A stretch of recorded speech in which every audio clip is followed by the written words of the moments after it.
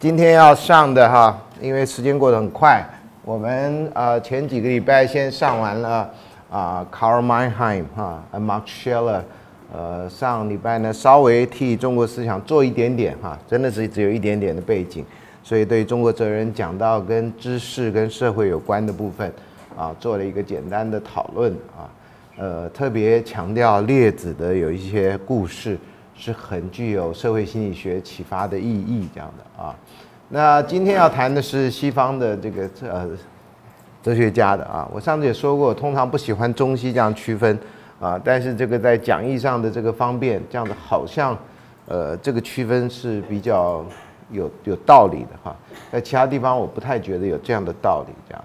那这里好像是这样。那这个基本上讲四个人啊，啊柏拉图、亚里士多德。培根跟这个笛卡尔啊，呃，一方面是我念过这四个人，第二方面是因为这四个人大概一般的知识社会学的书要提都会提到啊，呃，或者没有提到，那也是对于西方思想的一个背景是很重要的，所以我们稍微说一下，因为你真正想知道多一点，可能你真得去上西洋哲学方面的课啊，那不是我这门课呃的专长。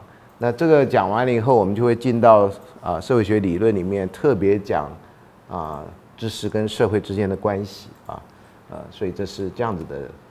先讲柏拉图哈，啊，柏拉图这个上次有讲过 B C E 跟 B C 的关系了啊，所以我们就不特别说啊。那古代人常常他的生卒年月会差个一年，差个呃两年啊。呃，最近呢，呃，看了一篇文章，讲了孔子的诞辰。我们在台湾是今年九月二十八号啊，呃，可是好像他考证出来，呃，根据这个呃比较可靠的节日是十月九号啊，因为孔子出生的记载，孔子出生的那个前面好像有月食，然后根据那个呃不是月食日食，反正就根据那个天文现象再来推论，应该是那一天，所以我们对于孔子诞生纪念的太早了啊。所以他还没出生，我们就觉得他出生。不过这个到底多少人采信也是个问题了哈。这个我们只大致说一下，因为柏拉图的生平也非常的简要啊。他父母亲大概都是望族啊。这个说来很悲哀啊。在这个到底历史上的什么样的人创造历史哈？大概都不是穷人创造的啊。故宫博物院的东西或博物馆东西，全部都是有钱人或者皇族留下来的东西。没有皇族，好像就不会有博物馆的样子啊。所以这个呃，到博物馆就会产生这种社会学的愤怒，这样哈，你就觉得 这有钱人啊，可是要不这些有钱人，你好像也逛不了这些博物馆啊。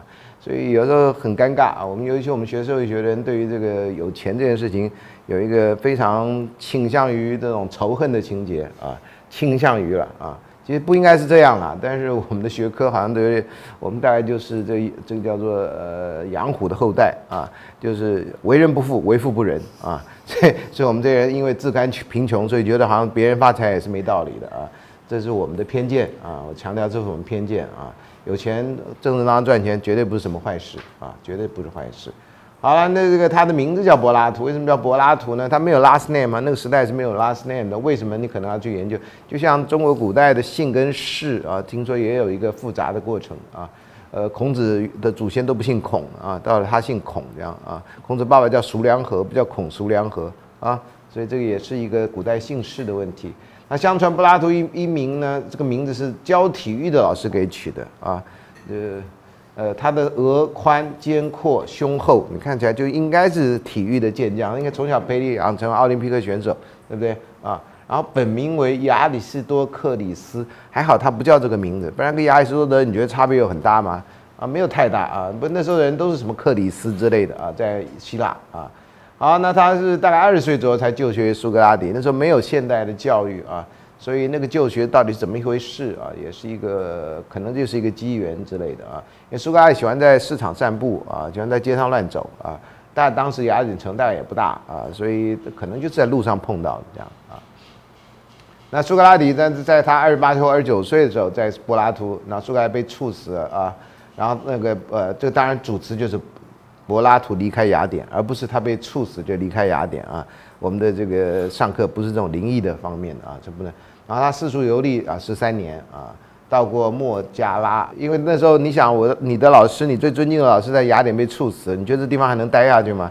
啊，我想这是一个很简单的道理啊，很多人离开故乡真的是情不得已啊，因为故乡不能容纳他啊，特别是先知常常就不能容纳啊，然后人家还给你一些坏名声啊，所以你不爱故乡啊，那啊就是很尴尬啊，这个每个时代都有啊，这个各位在这个时代也会碰到啊。然后学生推荐呢，就往西西里岛去推行政治理想。那时候还没黑手党啊，所以比较容易一点。要黑手党以后，这事情就不太容易。不过还是一样，失败了啊。有理想的人通常不太容易成功啊。我想理想的一个重要目标就是让别人觉得很重要，而你在那边非常的孤独，就像个灯塔一样。然后被国王卖到伊锦纳这个地方去当奴隶啊，几乎丧命啊。后来被商人赎回来，所以到底是一个什么样的故事啊？呃，我们现在离希腊很遥远，所以不太了解啊。好，那他在雅典成立一个学校，所以叫做 Academy。所以现在这 Academy 这个字就变成什么军事院校啦，或其他像中央研究院呐啊，就是用这个字的拉丁文 Academia，Seneca 啊，是一个拉丁文啊，所以呃听起来非常有历史啊。其实中央研究院的历史就并不长啊，有没有一百年了？应该有了吧？啊，或者快了吧？啊。然后这个到了这个地方叫 Syracuse，Syracuse 这个地方后来在美国也有 Syracuse 这个地方啊，从事政治活动也失败了啊。然后第二度往去了呃 Syracuse 要从事政治活动，再度失败啊。所以现在政治人物如果有柏拉图这种心胸啊，就没有什么关系。我最后呢，大部分都是对政治失望以后专心学术工作啊，然后在朋友出吃喜宴的时候过世啊。我想这是人的少数好的死法之一。啊，就像我们老师上课上到这样最高潮的时候，他觉得很兴奋的，哦，挂了，这最好的时候。钟斌老师然后退休了，然后参加了什么呃庆祝孙老师退休什么八十周年之类的哈。这当然我退休不可能八周年，就是老了不知道人家庆祝你八十岁跟庆祝你退休八周年是不一样的意思。但老了嘛，谁知道对不对？然后呢，大家都酒酣耳热之际，然后我就寂寞的走回家去，然后在转角的地方就摔了一跤死掉。你说这这这这什么死法，对吧？啊，死当然就应该在这种方式死的嘛，啊，或者被那什么呃喝醉酒驾车的人不小心撞死，这种死法真的是全天下最最冤枉的死法，上辈子不知道做了什么奇怪的事情才会有这种奇怪的死法啊。总而言之，啊，好，那柏拉图的著作，有的人会很认真分析哈，我那讲呃讲义里面啊也有解下来啊，但是呃我不是柏拉图专家了，我就告诉你，这三个人的做法，三个人做法都不太一样啊。那这个重点就不是，然后还有一个就是到底这个柏所谓柏拉图的对话录到底是柏拉图还是苏格拉底的对话？因为里面柏拉图基本上没有出现啊，他就隐身在那个对话那个那个，然后这个是一个德国的一个学者的说法啊，呃，所以他认为这个呃对话呢表现的啊，他如果我们要区分哪些对话录中是苏格拉底自己的说话，哪些是表达柏拉图思想。必须对话分成三个部分：早期对话、中期对话跟晚期对话。所以就刚刚前面分歧为什么那么重要？然后呢，只有早期对话可以理解为历史的苏格拉底表述的记载，而早期是记载老师的生平啊。呃，苏格拉底的大部分事迹是靠这个柏拉图，还有就是色诺芬啊，呃这几个人的记载，不然的话我们就不知道到底苏格拉底做了什么啊。那相反的，苏格拉底中期、后期对话中所讲，基本上是柏拉图哲学，所以就是一个借壳上市了啊，就借着柏拉图之名，不借着苏格拉底之名讲出柏拉图自己的想法啊。这很多老师过世以后呢，如果学生要阐述老师的说法，到底哪些是真的老师的说法，哪些是学生挂挂借壳上市的，都很难说。呃，马克思、恩格斯啊，因为马克思死了以后，恩格斯还继续活，还活了蛮久的。所以呢，这个呃，恩格斯常常讲说啊，我跟马克思怎么怎么，那你都死无对证的啊。有一句很有名的话，我后来研究了半天啊，说马克思说过，他不是一个马克思主义者。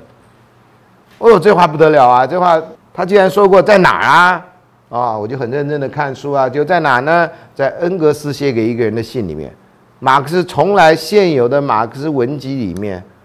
马克思著作里面并没有这样的一句话，当然，马克思文集是现他手写下来的东西，而不是讲出来的东西。讲出来可能讲过很多话，马克思一定也讲过。对不起，我要上厕所啊，请等我一下。一定也讲过类似这样的话，但这话不会被列在重要的著作里面。这是一句跟他的思想完全无关的话，懂吗？啊，所以呃，马克思如果讲过啊，说我不是一个马克思主义者啊，这说当然前面还有的一个一个故事啊，那为什么都没有被记载，就被恩格斯记载？只有你在旁边吗？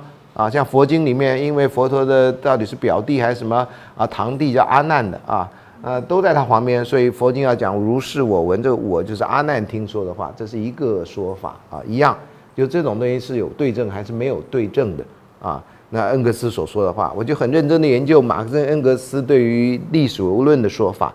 恩格斯后来很多说法都说啊，这是我跟马克思一致的意见。呃，我在文献上，至少在文献上，有的地方找不到是一致的文献。啊，有一句话，他说：“这我我跟马克思除了这句话以外，什么都没说过啊。呃，刚好就除了这句话没说过以外，其他好像都说过啊。所以有时候你要怎么相信一个人，还有说他相信那个文字在什么地方表现啊？我一直觉得书信里面的话，在当然在有检查制度的时代，书信里面的话到底要怎么看待啊？因为你会被检查，所以你能讲真的话吗？啊？”所以我觉得这是一个重要问题。那在现在这种我们还处在一个言论相对上很自由的时代啊，基本上讲话就比较能够直抒心意，就你自己想什么就可以讲什么。但在很多社会里面，他讲话还是要转转几个圈的啊。所以那种话能不能信啊？还有那种私密的书信，我写给你的不会有第三者看到的，不是公开信那种。那那种信中的话要怎么去看啊？我觉得一直觉得这里面应该要区分来看啊。我觉得。呃，恩格斯那样子讲哈，基本上我我要说服我是很难的了啊，说服很多人是很容易的啊。好，他这里呃柏拉图有一有个他自己讲的话，说我年轻的时候有过和许多青年大体相同的经验，这是他那个时代啊，不是现在这个时代啊。我希望一旦成年便可以立即参与政治生活，当时的政治情况正好发生变化，给我这样的机会。那时候遭到广泛反对的政府被推翻了，爆发一场革命。在这场革命中，有五十一个人组成了一个政府啊，十一个人在城里，十个人在庇莱厄斯啊，分别管理市场跟处理城邦的日常事务啊。这事务的“务”应该打错。其余三十一个人掌握权力，作为整个城邦的最高统治者。其中恰巧有些人是我的朋友跟亲戚，他们就邀请我参加他们的政府，认为我适宜从政。这也没有什么可奇怪的。我当时还年轻，相信他们会引导城邦从不正义的生活走向正义的生活，并且管理它。这是他们的说法，所以抱着极大的兴趣观察今后的动向啊。很多人讲政治都是都一样，千古以来都一样。年轻人因为有热血，觉得可以改变，特别是把不正义的生活走向正义的生活，这到现在为止都这样啊。所以呃，后来有一些老贼，当然都知道呃年轻人是这样，所以就很能利用啊年轻人这种这种义愤的心理，给你部分的事实，你就开始替他卖命啊。好，他然而我看到，仅仅在一个很短的时间内，这些人就使得人们重新怀念起从前的政府来。哎，这是柏拉图时代，我不是在讲现代哈，不要误会啊。我每次看到这种话，我就觉得说天哪啊！呃，柏拉图是什么时代人呢？认为比较起来，那才是黄金时代啊。所以让你开始让现在的人怀念以前的政府的时候，你就知道这政府现在这个政府真的该下台了，自己该摸摸鼻子啊，免得这个很难看的了啊。然后更重要的是，他们要控告我的朋友年迈的苏格拉底。啊，呃，我毫不迟疑地认为他是所有活人里面最正直的一位。这个他当然写错了啊。他们强迫苏格拉底和别人一样去逮捕并处死一个公民，不管苏格拉底是否愿意，都要他参加他们的政治活动。但苏格拉底拒绝了，宁愿冒一切风险，也不愿意跟他们同流合污。我对这些罪恶活动深感厌恶，于是就让自己离开了这个弊端。不久，三十人掌握的权力跟他们政府就垮台了。呃，讲到知识分子的无奈啊，因为有时候这个大局不是你能够掌握的。虽然你觉得你跟真理站在一起，但是跟真理站在一起的人是非常寥寥寥少的人啊。柏柏拉图的书里面，我们只能这样讲啊。所以大体上就算他的想法，有一个叫 idea，翻成英文叫 idea 的这个的，可这个翻译呢，其实有不同的翻译啊。但是因为有时候在不同的学科，它的翻译也会不一样。这个希腊文啊，那这个英文就 idea 或 idols。idea 通常呢，呃，学希腊哲学人啊，这个不陈康跟杨世然觉得应该翻成像啊，我不知道他们是不是在下象棋的时候想到的啊，翻成一个像啊。然后姚立田呢认为该翻成理念，这比较接近我们现在一般的翻译。那有人翻成像说是个理型，有人翻成是概念啊，所以你看不同的人讲不讲同样一个事情的时候，用的是不同的意。所以在阅读上面翻译啊，也特别是我们是一个后进国家，翻译是一个很重要的影响我们认知的媒介。特别我们今天讲的是知识社会学，所以对于概念的转换这一点，我们要有比别人多一点的这个呃敏感度啊，不然的话很难很难呃胜出啊。所以这是 idea 啊，等一下说是什么意思啊？好，这里呢这个杨氏的说法说我们译成像啊这个词原文叫 idea 或者 idols 啊，这是动词巴拉巴拉，这个我不会念啊，我的希腊文没没到这个地境界啊，就是看到的东西啊，你看到的东西，它指的是一个客观的实在，而不是观念性的东西。所以你翻成观念概念是不一样，它是一个客观的存在。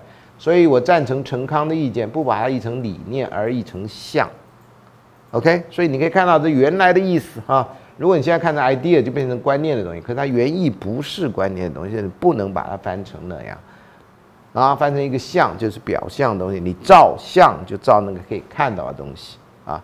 当然有人声称他们照到看不到的东西啊，那这是另外一个故事啊。好，前后的相论说前期以斐多篇跟国家篇或以理想国，后期巴米尼的代表啊。呃，这个呃，因为现在中国大陆已经有了柏拉图的全译本啊，柏拉图全集，还有这个呃亚里士多全集，所以这个部分大概比较容易一点。但是因为译者不是同一个人啊，想法也不一定。那他是相信啊，柏拉图相信有两个世界，我们活处的这个世界不是一个完美的世界，最完美的世界在另外一个地方，啊，那个世界叫相的世界，我们所处的世界只是感官世界，啊。然后坐外面地方，那个地方是实有的东西。然后我们这个世界只是一个物质的东西。那个地方呢是灵魂所在之处。苏格拉底不是，柏拉图是相信有灵魂的啊。那个灵魂跟我们现在什么灵学相信灵魂那是两回事啊。那这个呢，感官世界你感到的是肉体。所以呢，呃，在他们的观念里面，我们生在此世，肉体会衰亡，随着时间的灵魂呢，到处会不断的游走。所以，就算你在这个世呢，你的肉体结束了，你的灵魂还是在宇宙之间的啊，所以不用担心的，这灵魂是不灭的啊。所以，所以对于他们来讲，所以智者对于死亡并不害怕啊，因为只是你抛去了这个肉体，你的灵魂用另外一个形式会出现啊。那这个相的世界是强调理智的，那我们的感官世界是重诉诸感觉的，那感觉会有很多错误啊。这个你现在有心理学的知识，你就会知道。画两条线，那个呃那个其实一样长的，但那箭头往里跟箭头往外，你就会觉得那个两条线是不一样长的啊。呃，还有你的手摆在水里面，一只手摆在水有温度水，一只手摆在那个，你感受也会不一样。所以呢，感官知识基本上从很早就就已经知道，感官知识基本上是不可靠的啊。你看那个一个一个竹竿掐到水里面，结果它是折的，那是折射的关系啊，不是竹竿到了水里面就变歪了。所以那个会刺在，如果拿那个刀子要刺鱼的人，你知道不要从你看到那角度刺，因为那有折射，它的位置不在那个你看到那个位置，先再往前面，好再往后面一点这样啊。这当然不是鼓励大家刺鱼了啊，只是告诉你感官是感官的那个是不太可靠。那真正的知识都在相的这个世界里，而不是那个感官世界，我们的这个知识都假知识啊。然后这个相的那个世界强调是真的这个所谓的知识。我们这个知那个世界都只有意见，都不是真的知识，所以真正的知识是在这个世界里。好，我们看到都是意见。那这个在好像在亚里士多德还是谁？这个一他的那个希腊文叫 doxa，doxa 就是意见啊。这个好像是 phronosis 啊，怎怎么样？然后这个像的世界是一个原原件 original，然后这个我们感官世界都是 copy 啊。这个是很著名的，它这个划分啊。呃，我们中国人的那个古人里面就没有这种想法啊。还有四个线段的比喻了啊，这个呃，他说用一条线来代表他们，将这个线分成两个不相等的部分，一部分相当于可见的世界，另外一部分就相当于可知的世界。然后按同一个比例将两个部分再划分，一部分是比较清晰的，一部分是模糊的。你可以看到，可见世界的第一部分是由影像组成的。我说的影像是阴影，其实只在水中，在光滑平面上反映出来的影子，诸如此类东西啊。他们对于这个物理现象的观察就非常的敏锐，这样的啊。那这个洞穴的比喻是最有名的比喻啊。这个说让我用个比喻来讲，人类受过教育的本性跟没有受过教育本性，这个差别在哪里？啊，受过教育。他说，假设人类居住在一个洞穴之中，有一条长长的通的过道通向外面，所以这是一个很长的一个山洞，它跟洞穴内部一样宽啊，所以那个是一个正方形。你可以用想象的建构出它的那个。他们从海底时代就住在这里，从来没有出去过，就要住在洞里面，双腿跟脖子都被锁住啊。然后呢，所以总是在同一地点，这是讲人的困境啊。因为被链子锁住，也不能回头，只能看到当前的事物啊。跟他们隔有一段距离的后上方有一堆火在燃烧，所以在你的后面有一个小矮墙，是不是？然后呃，有一堆，然后那个墙上面有火在烧啊。在火跟囚徒中间有高过两者路，对，有一段路，所以是呃，你要这样想，前面是人往前看，后面有一道路啊。有人说是墙，然后这边是有火。所以那火，然后出口在这里，入口在呃这个底在这里啊。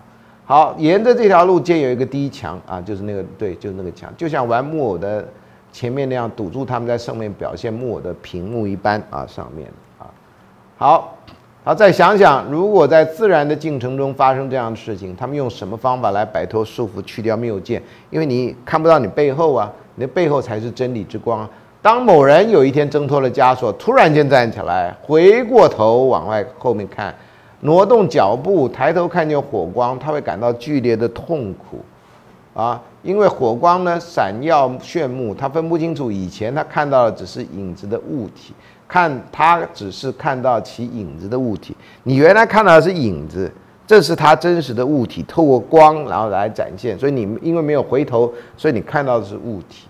如果有人告诉他以前看到只是阴影，而现在他靠近了实在啊，这具体的 reality，他的眼睛转向了更真实的事物，所以他见到了更真实的景象。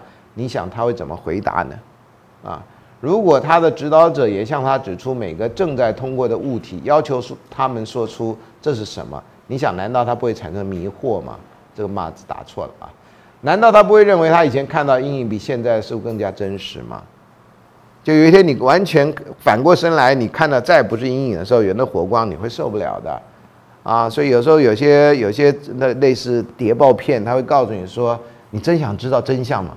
你知道你是承担不起的，那真相太可怕了啊！”就类似这个，你眼睛、你的心灵整个会真相，这会承担不起的啊！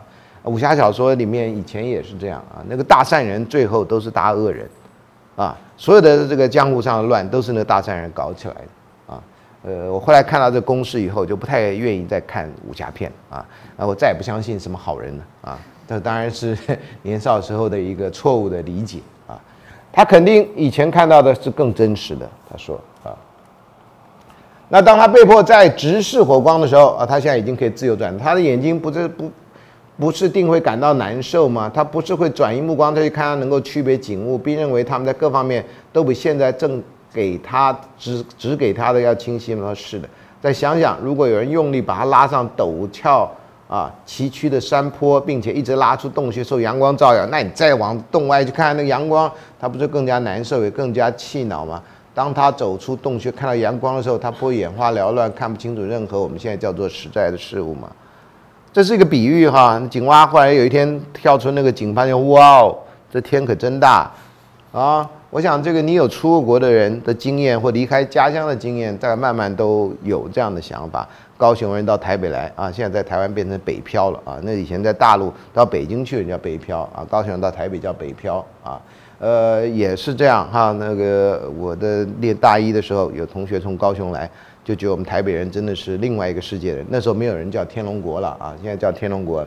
那我你看在天龙国待过啊，我后来到纽约去读书，哎呀，刚到纽约的时候根本就觉得走在电影里面，啊，我没看过雪啊，啊，所以在纽约下第一场雪的时候，天呐，我们那个兴奋真的像小孩子一样啊。那其他的纽约人看那雪都已经恨到不行了，我第二年也是啊，所以我第一年的时候那种兴奋啊，雪花嘴巴就张开，觉得可以免费吃刨冰啦，啊，那种愚蠢的啊，可是那种新鲜啊，所以这个都都有过经验啊，这种新奇的事情。好，所以他就是讲到这种真理之光的问题啊，这是很有名的故事啊，也就告诉你说，我们其实大部分时间是被蒙蔽了。知识社会学，这个就算可以算知识社会学萌芽啊，只是你怎么知道我们什么时候看到的是真理之光的东西，什么是我们眼睛无法承受的东西？你在那故事里面可以迷，可以这样想，可是，在真实世界里面啊，我们了解到可以了解到吗？啊，我们的感官世界或从柏拉图立场还可以吗？啊，另外还有一个就是所谓的辩证法，这辩证法因为到黑格尔到了马克思啊，这辩证法好像就跟共产党有关系，好像就跟正反合什么的有关系了啊。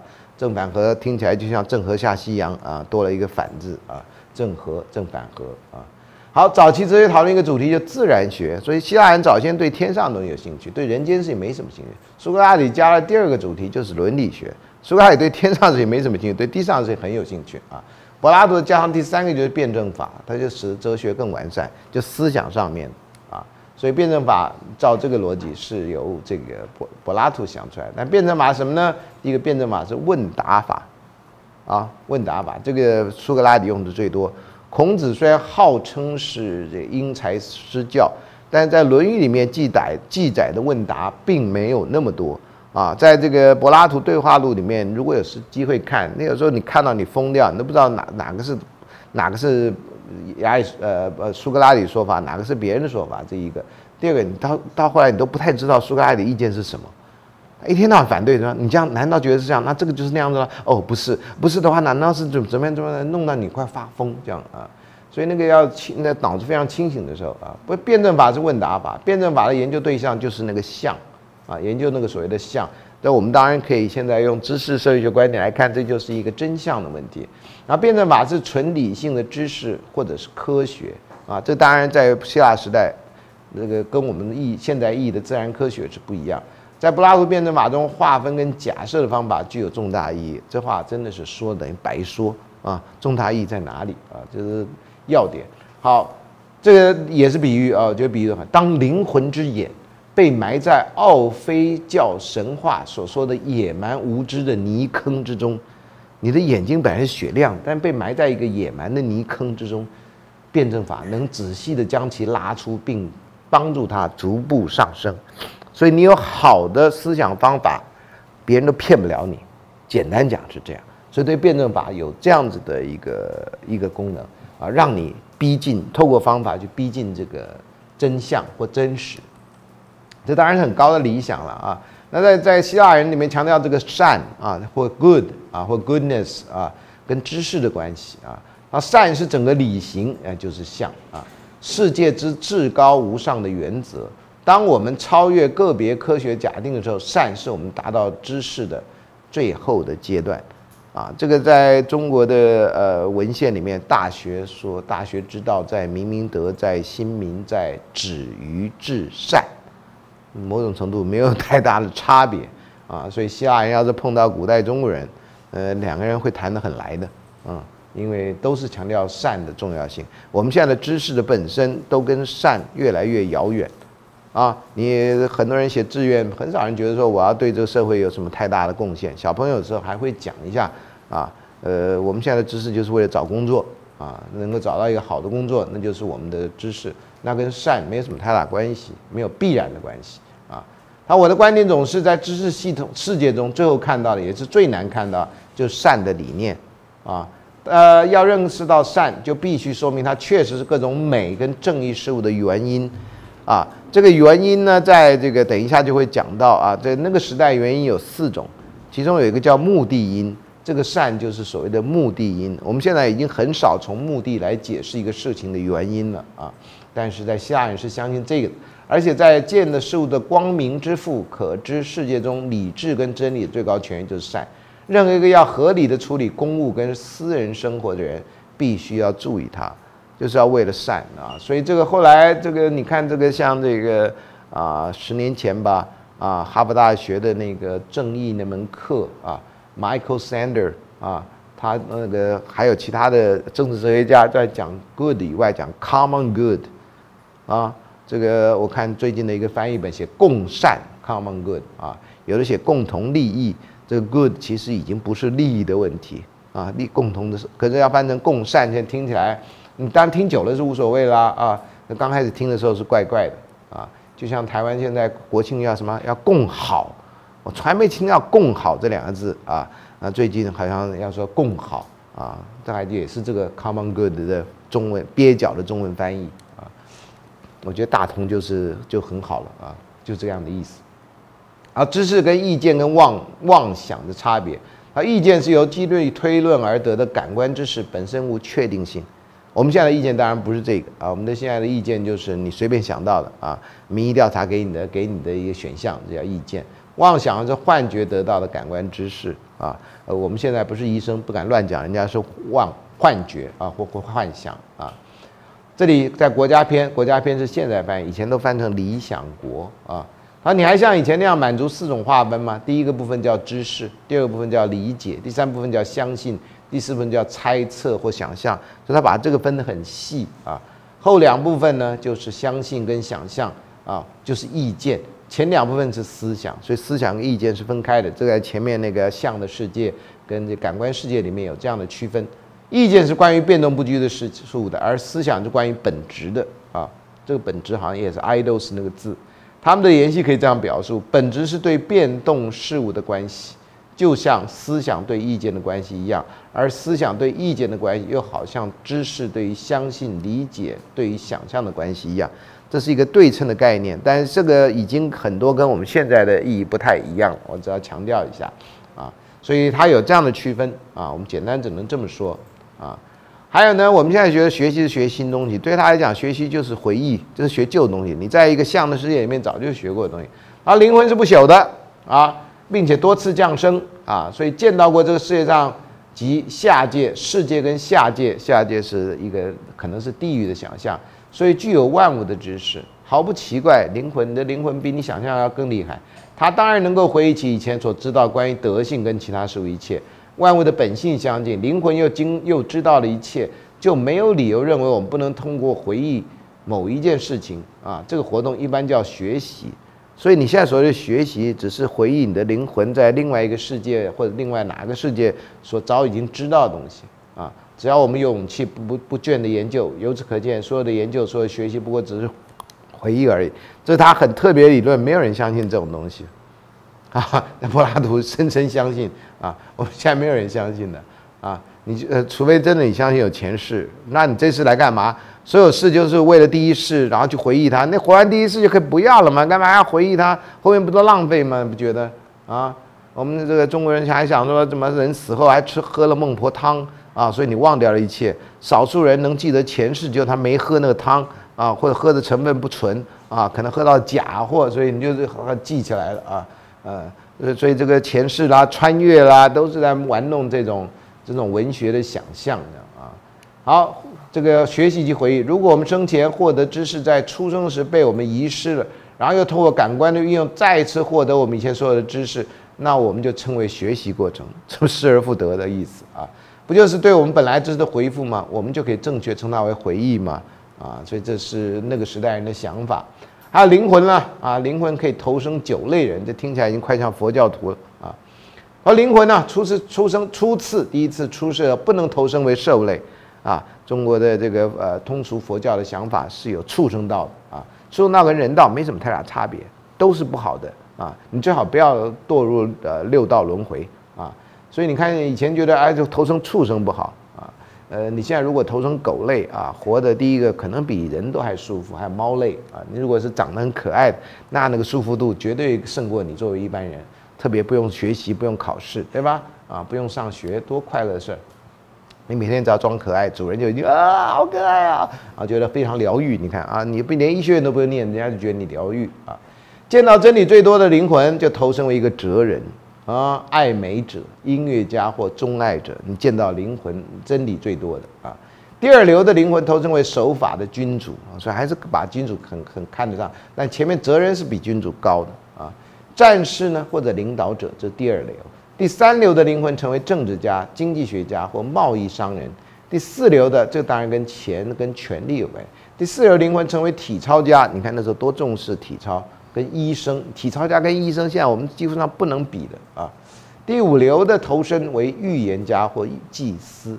第六流是诗人跟其他模仿技术家所适宜。第七流为匠人跟农夫。第八流为智者或善动家。第九流则投身为一个建筑。所以这建筑也是一个君主，但是个比较差的君主啊。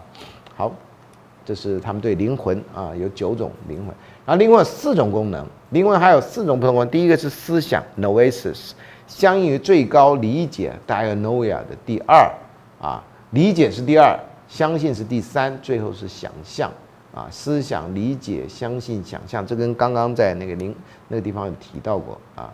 最后一个，我们你如果学英文，有所谓的《天鹅之歌》。《天鹅之歌》通常都是一个人，特别是音乐家啊，或者一个人在死之前啊所做的一些言论，或者这有时候真的是唱歌啊。那个舒伯特有一套歌曲集，就叫《天鹅之歌》啊 s c h w a n e n g e s a n 啊。所以天鹅平时也唱歌，到临死的时候，知道自己就要见到主管自己的天神了，快乐的引吭高歌啊，唱出了生平最亮、响亮、最动听的歌。可是人只是为了自己怕死，就误解了天鹅，以为天鹅是为死而悲伤，唱自己的哀歌。人家快乐，你听人悲伤啊！你真的是参加婚礼，你都觉得人家唱的是哀歌呢啊！他们不知道鸟儿饿了、冻了，或者有别的苦恼都不唱歌的啊，就连传说出于悲伤而啼叫夜莺、燕子或者戴这个戴胜也是这样。这我不知道戴胜什么意思啊！我不信这类的鸟儿是为了悲伤而啼叫，天鹅也不是，天鹅是阿波罗的神鸟。我相信他们有预见，他们见到另外世界的幸福就要降临了，就在自己的末日唱出生平最快乐的歌，啊，这个我不知道现在动物学家怎么去评论这段话啊，但这个是被拿来装文学的一个比拟的用法啊，《天鹅之歌》啊，好，那这是呃柏拉图对于这个呃跟知识相关的一些概念的说法啊。呃，特别是两个世界说啊，这个其实影响到后面很多的想法啊。好，那亚里士接下来亚里士多德，亚里士多德理论上是柏拉图的学生啊，嗯，那他很有名啊。但是柏拉图的对话录很好看，亚里士多德书就是很硬啊啊，你要在心情很好、头脑很清楚的时候才能念的啊。呃，他在柏拉图的学院读书一待就二十年，那这个二十年当然不是只有读书了，显然也帮一点忙吧，可能当一点助教吧，什么之类的啊。因为他的父亲的是马其顿王朝国王亚米达斯的御医，所以后来说马其顿的呃国呃亚历山大二呃亚历山大是不呃亚里士多德的学生啊，是这样来，他们家有一点跟跟这个皇朝有点关系啊。然后在三十七岁的时候，柏拉图过世，学院就由外甥啊这个人啊，什么呃斯皮尤西帕斯继任。亚里士多德离开雅典，受到赫米亚斯邀请前往小亚细亚的阿索斯，并且呢在和赫米亚斯的侄女啊庇利亚斯结婚啊，然后受到马其顿国王菲利普邀请，当十四岁的家亚历山大的家庭教师啊。然后亚历山大继承了菲利普成为马其顿国王，亚历山亚里士多德就随他到了雅典。亚里士多德在莱西昂教授的 Lyceum，后来呃法国的中学啊，也叫律律 c 啊，但跟这个字的字根是有关系的啊。那亚里士多德侄子因为叛国罪被刺死，亚里士多德跟亚历山大关系就恶化啊。其实你侄子叛国关你什么事，对不对啊？那古代人大概相信是有关系的啊。啊，六十一岁，亚里亚历山大逝世，反马其顿革命开始，亚里士多德被加以不敬的罪名啊。这个当然在六十一岁了还被叫不敬啊。六十二岁逝世于卡尔西斯这个地方啊。这就是呃，我们先讲一下这个亚里士多德生平。那这个我的亚里士多德书非常多了哈，这个我又是那么喜欢买书的人啊，这稍微介绍一下，这是英文的。两本亚里士多德的全集啊，那这个是其中之一啊，所以这个纸又很薄啊，所以大概你有两本亚里士多德全集，你大概就可以看到看你一辈子啊。啊，这是中文的大概十册的吧，啊，我拿的是第一本亚里士多德全集啊，所以现在用中文也可以看到，以前是完全看不到的啊，这当然是简体字版啊，台湾，那这个是他的几本呃。节篇的翻译啊，范畴篇、解释篇，等下都问了。然后等一下会讲到这本《工具论》啊。那《工具论》呢，有了《工具论》基础，你就可以知道什么叫新工具论啊，因为这个是跟着这来的。那这是培根的东西，这是比较早的早的版本啊。然后这是的后来大陆的翻译版啊，这是培根的另外一个书啊，叫《学问的进展》啊。那后面我们还会讲到。呃，笛卡尔啊，这是我念大学时代新潮文库的这个笛方法导论跟沉思集啊。呃，那时候的这种翻译呢，大部分都不能当学术用途啊，大概可以当成一个入门的书，因为那时候真的很缺乏。那后来中国大陆改革开放以后啊，这个书就比较多。你看，这是我更早以前啊，这十块钱一本啊，台中的一个书店出的沉思集啊，那字很小啊，那时候的眼睛不坏，真的也没什么天理啊啊，这就是你讲那个时代啊，民国六十年，一九七一年啊，这是。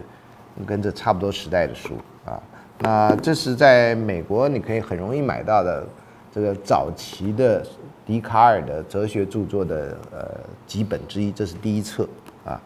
那那么笛卡尔书是很容易在大学里面，因为是必读书了啊，所以这是美国里面讲到这个方法方法导论跟沉思集啊，这是另外一个版本啊，因为这个几乎都不用不用版权了啊。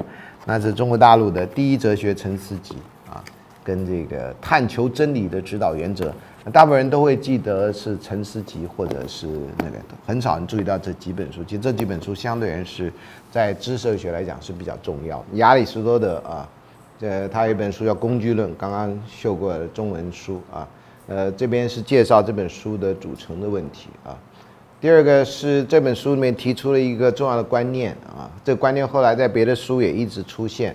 这个其实是在我们近代有了西方的因果解释或者叫 causal explanation 之前啊，呃，西方人一直相信的这个叫四因论，四种原因。那这边说啊，当知道原因的时候，我们就认为有了科学知识。所以在这里，当时的科学知识是要追求原因的。只要你知道原因的，那你就拥有了这知识。那有四种原因，第一个可下定义的形式，啊，它这里还没有叫做形式因。第二，必然产生后项的前项，啊，就是你怎么样会产生一个后项。这个我们到现在为止，这个呃自然社会科学里面也是，所谓因跟果的关系，就一个在前，一个在后啊。那第三个是动力因，为什么会造成这个啊？第四个是目的因，刚刚有讲过啊。那我们现在大概大概啊多多少少大概只有动力因这个啊，如加以适当解释，是我们现在还在接受的。好，那这个呃范畴篇他有讲到这个，我比较了两个人的译本了啊，这个我就不详细说了啊。这个因为呃他对于这个思想的那个考虑都要很精确啊。这个在中国的书里面，除了几本我们现在看不太懂的墨子的墨辩啊。讲逻辑的之外啊，大概已经很难有这样子的呃讨论啊。那这个是我从别的书上呃在在网络的文章看到的这个相关的译文，你就可以看到相关的译文。当然，这位写作的人啊，这刘创富先生啊，参考了有拉希腊文、拉丁文、英文、德文啊，中文的译名啊。这个呃主要是要跟这个呃亚里士多德说的范畴论啊。有这个十个范畴啊，等一下我们会提到的这译名啊，这个也是根据前面来的啊。那到底有哪十个范畴？就我们认识外在事物是基本上是看这十，以这十个为主。第一个就是判断的量，就全称的或特称的或单称的啊。因为我不是这方面专家啊，我就没办法细一步进一步细说啊。另外就值方面，我们现在还有量化跟值化啊这种研究。跟这个区分有点关系，这值值就是肯定的、否定的，或者叫无限。啊，为什么是无限的？我光看字面我是不太理解啊。还有这什么样的关系？这定言的关系就 categorical，然后 hypothetical 就假言的关系，还有一个选言的关系啊。呃，这个翻译对就有点古老了啊。还有是什么样的 modality？它叫这边翻模态，是必然的、实然的，还是这边又有一个啊或然的或者实然的，还是必然？这这总共是十呃，这是康德的十二范畴表，讲错了啊！哎，那亚里士多的十个范畴呢？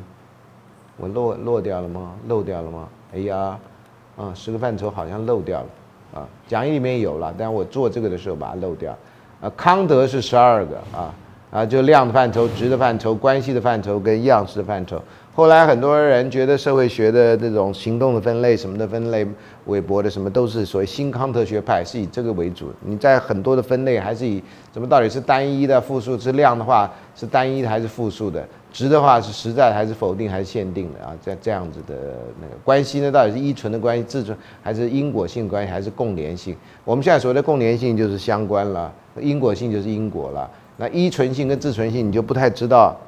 现在我不知道你们学的研究方法哈，呃，两个事物之间，一就是有关系，一个就是没有关系，这第一大分类，对不对？而有关系，一个就是相关，一个就是因果。然后因果里面包含了相关，然后包含了时间的先后，还包含了没有虚假关系。我们以前是这样，所以大概你在研究法里面，呃，在不管用什么样的技术，最后你就要证明这个到底是一个。当然，证明因果关系是比证明相关关系要来的更精确，因为相关那相关什么都相关啊，这说等于没说啊啊。呃，社会学的那个不相关的东西，相对而言是很少的啊。啊，那这个如果照那个，那这个依存性是什么关系？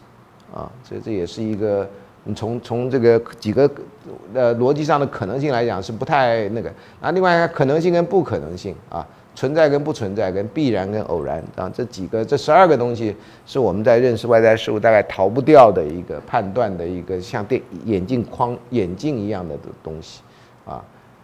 呃，对，这也还这也是范康德的。那为什么我把亚里士多德给漏掉，还是怎么样？好，不管。第二个，在分析前篇这个里面，他就提到了说三段论，这个你学逻辑都会都会讲到哈。所以这里我只是告诉你一个出处这样的啊。那什么叫前提？有大前提、小前提，对不对？我就不多说了啊。那三段论啊，一般讲的最简单就是啊，人都会死。亚里士多德是人啊，或苏格拉底是人，所以苏格拉底会死。我每次学那个逻辑的时候，觉得苏格拉底好可怜，被拿来做这种啊。你应该说人会死，好人也会死，坏人也会死，是吧？啊，可能这样子会有意义一点啊。好，这是三段论法啊，这个就已经告诉你这种东西是一个呃真理啊，可以透过三段。然后这边还有什么中词跟端词？你看很早以前他就想这些东西啊，我们中国人没有想过这个东西啊，没想到思想是怎么样正确的，符合道德就可以了啊。你像孟子啊那些。然后在形而上学这本书啊，这也是很重要的这个呃书呃亚里士多德的书啊。那 metaphysics 很很有趣，这我们现在翻成形而上学，它其实有一本书叫 physics，现在当然翻成物理学了啊。呃，以前也翻成，可是跟以前的呃跟现在物理未必相关。然后 meta 是在物理之后，好，原来是在排在物理学在前面，它排在后面叫物理之后，不知道该怎么样给这样的东西给一个名称。就叫它 metaphysics，所以它没有一个名字，它的名字根据前面这个名字来的。没想到后来这就变成一个专名啊，就变成形而上学，或者有人翻成了玄学啊。但这个在台湾玄学又变成是另外一种学问了啊，跟灵学有点关系，所以那已经不是我们一般所谓的学术了啊，那已经是所谓的民俗信仰的东西。那特别提到说求知是人类的本性啊。这个呃，孟子说那些道德啊，恻隐之心、修让之慈让之心、羞愧之心啊，那那四端啊是人本性。他觉得求知是人本性，孟子就没有讲到求知啊。你可以看到，这古代哲学家讲，然后人跟动物什么差别？孟子说人是欲情有积息啊，呃，庶民存之啊，什么什么的。然后君子啊，庶民去之，君子存之啊，好像是这样说法。那讲大概是道德了。然后动物凭借记忆。现象跟记忆而生活的很少相关性，人类还凭技术跟理智而生活，就特别强调理智的力量还有技术。所以在古代有一个拉丁文叫 Homo faber，就是工具人啊，不是你们现在工具人的工具人啊，大概你们的工具人可能也来自这个 Homo faber。人之所以异于禽兽，就是人会使用工具。当然，你看一些这个呃生那个心理学影片，有一些呃猩猩吧，还是猿类。啊，会使用工具拿到他本来用手不能碰到的东西。你如果摆一根棍在旁边，他就会了解这拿这根棍子可以触到那个香蕉什么之类的啊。我看过类似这样的，那那那个技术，猩猩就有啊。那人类那就更厉害啊。呃，我们以前年轻的时候看的连续剧叫《百战天龙》啊，《百战天龙》他马盖先可以用手边看到的任何东西啊，就可以解围这样哈。所以以前我跟我太太聊天说，如果你现在荒岛上，你最愿意跟谁在一起啊？在理论上，对，理论上这应该是个非常浪漫的，说安妮啊，对不对？结果我太太说马盖先，我说我也是啊，所以我们跟我们夫妻俩会跟马盖先一起在荒岛上啊，对 啊，所以不要经常不要这个浪漫，有时候会转到另外一个话题去啊。啊，经验跟技术啦，他这边强调经验是个别知识，技术为普遍知识，这个我们现在的分类是完全不一样啊。我们现在那个讲到经验啊，empirical 这个字眼，在台湾早期 empirical 字眼呢，不当的被翻成实证的，所以叫 empirical research 啊，叫经验研究，就被翻成实证研究。那有一些对理论有兴趣的老师就很痛恨经验研究，我不知道为什么啊。呃，就觉得经验研究啊，都是只注重一些小的细节啊，不重视理论的思考啊，这样的哈。如果照这个来讲，哈，经验只是个别知识，然后技术才普遍知识。可是现在当当时它翻成理论，所以呢，我们当时对社会学有兴趣的人，大家都是对理论有兴趣的人，不是对于研究方法有兴趣的人啊。当然到了业界，然后因为生活或所逼或所困，或者不还没到业界了，到了博士班，美国的博士班，你就开始知道念理论不是是 不是。真的是几人能够啊啊！真的能撑下来是很不容易的啊！我我自己就学了三个学期的理论啊，学完了成绩呢都在逼减的啊，还被老师说我觉得你不适合念理论这样哈。我那时候统计再烂也有 B 加啊，我觉得那真的是一个颠倒的世界啊！我觉得那种没有学问的东西、没有营养的东西，既然我可以得 B 加啊，我还不花多少时间。当然很多人就觉得说，你既然不用花多少时间都可以得 B 加，你再努力一点就可以得 A 加，然后就就可以。在美国教教统计啦，对吧？华人就是靠教统计活下来的啊，这样啊。本人就不信这个邪啊，我也不信我要在美国教书啊，所以 后来就这样啊。这后面的故事就是故事。这这强调的，所以那时候被教导要呃对经验研究要很看不起这样啊，这当然是错误的啦，这当然是错误。但是等到理解的时候已经很晚了。等我当老师的时候，很多学生还是这样想法，所以对于研究方法，对于统计啊，呃，非常不用心啊，也觉得不觉得那是一个什么重要知识，觉得是技术啊。呃，你如果在希腊时代，技术就是普遍的知识啊。呃，当然后来很多人都吃亏了啦啊，真的很多人都因为误信了这种偏偏方啊，思想界或学术界也有很多偏方，很多人因为相信老师，然后老师相信偏方，所以后来那一代人就垮了啊。呃，我觉得知识应该 balance 一点，像营养一样，吃什么都要有一点啊，不要偏食，这个也是一样啊。所以经验研究变成呃实证研究啊。我们下礼拜讲到孔德的时候啊，会特别告诉你实证到底是什么意思啊。呃，真的不必要。那我们现在讲的实证跟孔德讲的实证基本上是没有太大关系的啊，真的好可怜啊。好，我们认为知识跟理解属于技术啊，知识跟理解属于技术。这个我们现在观念好像知技术是一种。前知识呢，或者一个你会用就行了，跟知识没关系。你你只要心灵手巧，你就会讲不清楚的啊，好像是这样啊。它不属于经验，那这跟我们现在想法不太一样。我们认为技术家较之经验家更聪明啊。那智慧是由普遍认识产生，不从个别知产生。这个我觉得是个偏见啊。呃，前者呢跟呃前者知道原因，后者不知道。所以重点是因为知道原因，你知道吗？啊，他后者不知道，凭经验知事物之所以然，不知其所以然啊。技术家则兼知其所以然之故，所以对技术家的那个评价是非常高的啊。然后知其所以然者能够教授他人，不知其所以然不能教啊。所以呢，与经验相较，技术才真知识。技术家能教人，只凭经验不能。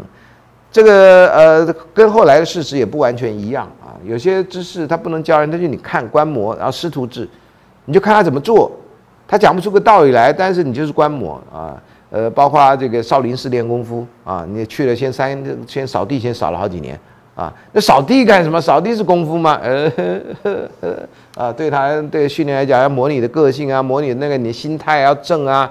像我们现在教学生都不扫地三年就让你学了啊，所以很多学生心态并不正啊，然后觉得急啊啊。那以前多的是时间呢，你就慢慢学吧。所以少林寺最有学问的人，常常是那扫地的人。啊，功夫最强是那扫地的人，你看他在那扫地，他就他已经琢磨出来啊，这扫地对于力的运用，对于什么的运用，他已经琢磨出很多东西来啊。所以只凭经验的人不能啊，这是他当时的想法了啊，当时想法啊。所以很多什么不传之秘啊啊，或者师傅要在什么秘密屋子里面才能告诉你的啦啊。我觉得这种这种已经落伍了啦。人类经验如果要传承，最好就是大量的、快速的啊，把你所知道的放上 YouTube 或放上这种，然后大家就可以学得到，就不必哎呀，你要是台大老师，你要台大学院才修到这课，你要怎么样才修到那个课啊？我觉得人类知识没有那么大幅度进步，就因为太多的知识没有传下来，太多的技术没有传下来，我觉得这是非常可惜的事情啊。因为我们人类要看成整体，你不能就是啊，别人学到了，我好像就没有了啊。我觉得这是这是我个人是非常不赞成的。所以我的课那么多课放在网络上啊，这也是很多老师不会做的事情，呃，很多老师也想象不到的事情啊。很多人都以为我要退休了，所以赶快把课放上去啊。这当然也是原因之一，但不是最重要的原因。最重要的原因是，如果真的有人愿意修这门课，他就可以好好在他选定的时间啊，好好的修这门课啊，不一定到现场的人才是要修这门课的人啊。啊，好，另外他觉得知识起于闲暇。啊，有有闲的人啊，然后在这些发明相继之后，出现了既不为生活所必须，也不为人世快乐为目的的一些知识，啊，然后这些知识最先于人们人们开始有闲暇地方，数学先兴于埃及，所以刚开始数学虽然有些老师会告诉你啊，这跟什么呃尼罗河泛滥啦，然后他算出那个泛滥的面积啊，最后会出现几何学啊有关，呃，他的解释那亚里士多德比我们还接近希腊呃埃及人。所以他认为那边的僧侣特阶级特许有闲暇，啊，没啥事要干，啊，这要干的事情很少，所以有闲暇。少林寺和尚也是，啊，又怕他做一些奇怪的事情，所以呢就要练功夫，然后就练成那样，少林寺也没有因为什么讲经出名啊，对不对？只要照到你是佛教徒啊，应该修行这么出名，而且他功夫出名到今天，啊，很有意思。智慧，什么叫智慧？我们通常认为知识跟智慧是不同层次的，啊。他这里要探讨主题是用阐释事物的原因跟原理，所谓的智慧。所以你的智慧就是知道原因跟原理的，就是智慧。知道特别是原因就是科学，对吧？啊，所以在亚里士多德非常非常重视原因，这点是到今天为止都有一个传承啊。那大部分人也在做，你知道原因，你就能够改进它，你就可以消灭那原因啊。那很多时候我们不了解原因，或我们拼凑出来原因，并没有完全拼凑出原因的全貌，那你还是不能解决它。其实现在统计，我当时在学的时候就很纳闷，说好吧，统计可以算出，呃，这个呃因果的这个叫什么呃 R square 啊，因果系数，那因果系数为什么都很低呀？啊，就算是作业做出来因果系数也没有高达到九啊，零点九啊，啊，常常三点三呐，什么之类，那么低，那表示说还有一减掉三点三，六点七是没办法解释的，不是吗？就是你的那考虑的变相显然太少嘛，少到只能解释三点三。如果我们都假定这统计都没有问题，我那时候极度纳闷，这样，啊，极度纳闷啊。所以好原因啊，然后呢，对上述所说有经验的人较之只有感只有感官人为富有有技术人是比较有智慧，因为他懂的原因比较多。技术家又叫经验家，大将是又叫做工匠，富于智慧。而理论部门的知识比生产部门更有较高的智慧。很明显，智慧就是有关某些原因原理的知识。那这个刚刚讲到智呃原因原理的知识就是科学，所以智慧就是科学，啊，所以我们可以这样推论。啊学术优劣的判准啦，第一个是普遍性的问题，第二基本原理的问题，第三个是原因跟跟终极的问题。这是他下面的论断，我们简单的就这样说，告诉你说他在那时候就设立了一个标准这样的啊。然后那个另外刚刚说知识起源于闲暇。这里面告诉你说，知识起源于对自然万物的各种精义，啊啊是这样的，啊，所以只有这样才能够呃产生那个。我最近读到了一些文章啊，这个德国诺贝尔奖的大师都觉得记忆相对而言不是最重要，创造力是最重要，想象力是最重要，记忆力相对而言不是最重要。那 AI 就可以做到。啊，AI AI 考大学，全世界大学任他选。如果只考记忆的话，因为，所以我们人要训练成像 AI 一样，那是一条死胡同。你绝对不可能比 AI 还记得多，啊，所以创造力、想象力还有好奇心，你必须要有好奇心。所以我那天在教师节那天，我收到一个一个一个很特别的学生写给我的一句话，他也抄别了别人来的，他是抄的是西班牙文，他翻成英文。所以一个好的老师。不是教你很多东西的老师，是引起你的兴趣去知想知道好多东西的老师，啊，我也不知道他是骂我还是赞美我 啊，也 没说老师你就是那种啊啊，加一句这个嘛，教师节了嘛，对吧？啊，骗骗我们也快乐嘛，也只是快乐那一天又不放假，对吧？啊，所以呃，好奇心这点哈，在我们现行的教育里面基本上是被扼杀的。啊，就算在学术界啊，你要走出跟大家不一样的道路，呃，鼓励通常很少啊，特别不会有政府的鼓励啊。你做这干嘛？呃，科技部不补助你，你怎么不做主流的研究呢？啊，你做这种偏流的研究有什么用呢？啊，那大家都做主流研究，那偏流谁来做呢？万一哪天主流就变成逆流了，那还有谁？对吧？这这总会有逆流的啊啊！我都觉得说应该多项发展啊，你不应该只只只只只补助主流啊啊。那主流，尤其是由于自然科学，很多主流第一个发现以后，第二个发现是没有任何意义的。你花了很多钱，结果你的发现比别人晚，你你所做的一切都是都是等于做白工啊。所以这个起于自然万物的精义这一点哈，我们怎么样让学生对于事呃这周遭的事物是有兴趣的啊？他会觉得哎对呀，为什么是这样？然后会努力去找答案。我觉得这是比较重要的，与其告诉他一个答案啊。可是我们的整个教学通常都不太是这样。你看四音说又来了啊，他说呢，这个四音说第一个叫本体一级整式，这当然翻译的很很很原始了哈。就为什么只在求着解说最后跟最初的一个为什么，指明那个原因跟原理，这叫本因啊。他们会强调所有事物的发生都有一个原因，那么往前追追追，总有第一因。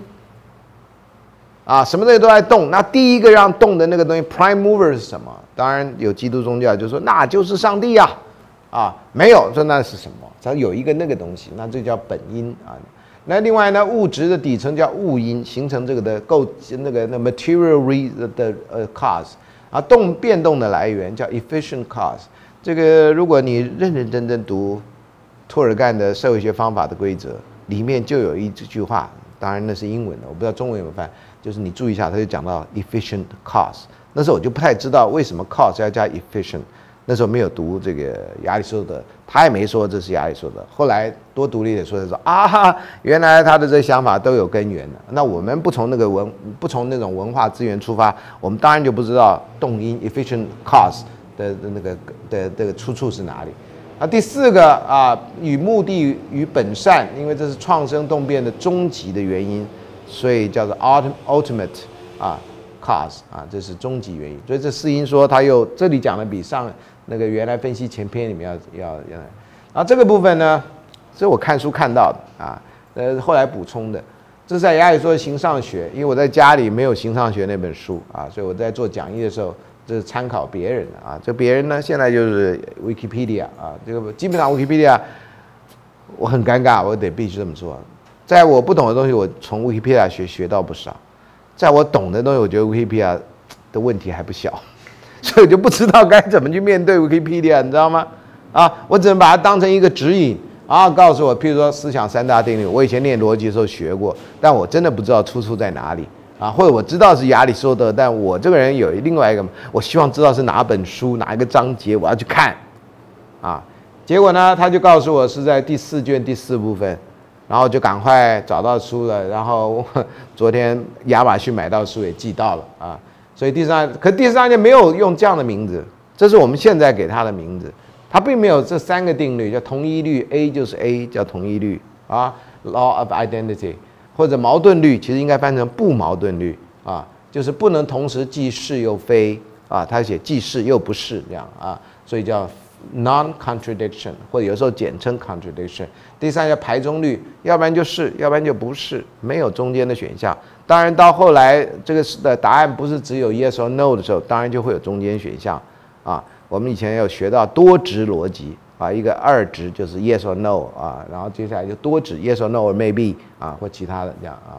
所以这是思想三大定律啊，就是一个命题不能够没有，不能够呢，那中国人就没有想到这一些啊。啊，这个呢想法一直影响到欧欧洲，到今天都还都还逻辑书都还教到这个，啊，所以呃亚里士多德的思想啊，在欧洲中古黑暗时期是唯一的明灯这样，但是唯一的明灯也就是他们只能看这个，其他东西不能看。那其实欧洲中古是黑暗，这个完全你没有考虑到伊斯兰教的影响，在伊斯兰教的那个世世界里面，它是光明的。只是因为基督宗教不愿意承认伊斯兰教光明，只好说，因为我们中古世纪我们的基督宗教没怎么样发展，所以一千年黑暗啊，一千年黑暗那是你家黑暗了，别人不黑暗呢，对吧？你家停电，你怎么就怪其他人没电呢？啊啊，这是啊，物理学这本书啊也有四因说啊，那刚刚那里其实已经解释的蛮详细的啊，那这个你看，所谓的原因之一啊，就是那事物由之而生。成，并且呢，继续存留其中的东西，如青铜对雕像，我们现在很少把青铜是雕像的原因啊，我们的这青铜的材料是雕像，白银对酒杯以及诸如此类东西的种种子呢，genus 那个字啊，这个生物学的那个分类啊，不是打错的字。另外一种原因是形式跟模型，就是视其所示的原理跟它们的种，就那一类东西啊，如八音度中的二与一的比例啊，那以前的音程的比例是这样，一直二分之一，一直二分之一这样的啊。所以中呃，所以后来他们有半音，我们中国人好像没有半音，我们只有五音什么之类。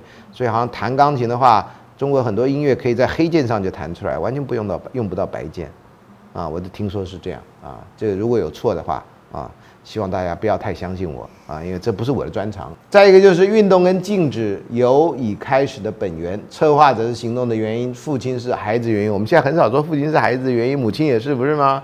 啊，怎么就父亲是孩子原因？一般而言，制作者是被制作的原因，变化者是被变化的原因啊。你看他那时候人讲话是这样，别忘这已经几千年人的讲话。最后一个原因是目的，就是说所谓的东西，健康是散步的原因。如果为他为什么散步，他回答为了健康啊。呃，这个也是没错的了哈。但是呃，这样的话，原因就在目的，呃，这个这个原因就是在时间的后面啊。你今天为什么带伞？又没下雨。呃，气象报告说下午会下雨，所以你做这件事情，你带伞的原因是因为晚下午会下雨，啊，所以这里有就是在时序上面，因不一定是放在前的，而是放在后，啊，如果根据这几个那个，好，接下来就讲培根啦，啊。这已经是欧洲这个呃算文艺复兴时代了吗？啊，十六世纪的人了啊。他是英国人，反正他念书念不错啦。然后呃，他父亲也是一个高官，所以他也受到这个影响哈。但但是他当然当上 barrister，这到底是什么样的官位或者是职位？好像是跟律师有关啊。那他有名的是出版散文集了啊，所以大家很多人在年轻时候都念过《培根散文集》啊。那培根散文集是用比较古的英文写的，所以你要用英文去念培根散文集，并不是一件那么容易的事情，除非是改写的啊。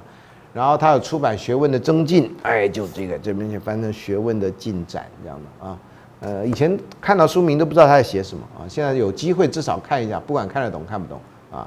然后他也结婚了，没有小孩，但婚姻生活美满。好，那他也有这个另外一本书，五九岁的时候叫《新工具》啊。刚刚讲过，工具是亚里士多德，然后西方人当时。啊，这个老外也非常有趣啊！明明不是他们英国东西，都说是他们的东西。这明明是希腊人东西，应该是希腊人很骄傲。你你们英国人干嘛把我们希腊人当你们的传统？啊，这在我们这种文化里面，常常觉得，哎，那个不是我的传统啊。人家西方人就没这个问题啊，只要是好的都是我的传统，嘿嘿啊，我们是好的送给你 啊，我不要啊，跟我的政治性理念不合这样啊。然后他另外一本书其实也没有 叫做《伟大的复兴》这本书没有没有看到中译本啊，我我看过英译本啊，这个看不是看内容啊，是看到过英译本啊，不英文本啊。然后那还有亨利七世第七统治史啊，风的历史，真的假的？这听起来像宫崎骏的什么东西这样啊？风之谷啊什么的啊，还有未建立及时趋势的自然史跟实验史建立哲学基础，这听起来都听书名都不知道他在写什么啊。还有生死的历史。啊，然后他六十五岁的过世啊，然后他的那个死后著作叫《新亚特兰提斯》，这是一个呃科幻的著作，他就他写了，但很多人还相信那是真的，说原来有个岛在大西洋那边，所以大西洋为什么叫 Atlantic Sea 啊，就是这样从跟这个来，他写的，他说这个啊那那个有一个岛快沉下去了，那个岛上的科技怎么样怎么样进步，所以后来常常还有人拍成电影，就是那是一个海底城之类的东西啊。呃，现在海底城是一个火锅店名字，是吧？海底捞啊，对不起，啊，我觉得人家是把它当成科学东西，我们就把它拿来吃了啊。这中国人这文明代就在吃上面发展到极致，就不可能再搞别的啊。你这样也对了，让别的文明有些事情干啊。这边有些译本哈，这个呃，我大概没有这个译本啊。好。那早先的译本真的不太容易看得懂啊，就算有译本，基本天数差不多。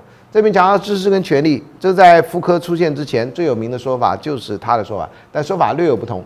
他说人类知识跟人权利是合而为一的，但是你看上下文好像这样，开发自然权利啊，这个好像就叫天工人待啊，在这个就是说老天爷要给你的一个自然环境，那人呢能够把自然环境改造成适合人的样子啊。在我们上个礼拜讲到中国人的那故事里面，就讲到愚公移山哦，虽然非常反对这个故事啊，但是好像都要被把那个在小学里面当成一个很有毅力的一家人的那个故事。我觉得在这个重视环境的时代，这家人的故事最好不要再讲了啊，这家人根本就破坏环境啊，什么地方不好住，住在山前面，然后说山挡住你了啊，我觉得这真的是一群那种，哎，辛普森家庭都不会这样啊。好啊，所以这里的权利是那不是人际关系的，那那个知识跟权利那个 slash 权利横杠啊，那个横杠老年啊已经过世了啊，呃，这个妇科啊就不是这样子说法啊，可是也是用到这两个，大家都知道知识跟权利是有关系的啊。谁掌握知识，谁就掌握权力啊！那些掌握哪方面知识？另外还有对自然的预想跟对自然的诠释，他要强调要正当而且严谨的方法来研究自然，啊，我们到了明朝，在他以后几百年啊，或者差不多时间吧，不一定几百年，王阳明呢就坐在一个竹子前面坐了七天，希望了解竹子的道理。王阳明在那时候中国在少数排数一数二排行聪明的人，啊。结果做这么笨的事情，你就知道这个文化基本上在那个时代已经是没救了，已经是没救。做完那就能想出东西来，七天，啊，还是隔出病来，人家就已经想到用正当而严谨的方法。你要研究竹子，你是不是有别的方法？不是坐在那里看着竹子，竹子会告诉你我是这样成长的。你是什么科幻故事吗？啊，所以我一直觉得这很可惜啊，中国的那个知识分子都被陷在一个理论的一个世界啊。好，那个自然的预想，就平常人类将理性应用到自然事物所得到急躁而不成熟的结论。我们中国人有时候有些经验之谈是有道理的，有些经验之谈可能是没道理的，大家都不区分。就是说，古代不是有说过吗？古语有云呐，啊，不是有人这么说吗？啊，我教爱情社会学的时候最常听到说，老师不是有人说吗？治疗一场恋爱失恋的最好的方法，就再去谈一场恋爱啊，啊。我说那那人现在死哪去？你知道吗？啊，真是啊！我说你怎么你把另外一个人当什么人呢？啊，大家都是为了为了别人的情商而而存在的吗？真是，自然的诠释啊，是透过正当而且严谨的过程，将理性运用到事实上。好，我觉得这是一个很简单的道理，但是在十六世纪的时候讲出来啊，我觉得这是让我非常佩服。另外还有就反对亚里士多德工具论中的演绎法。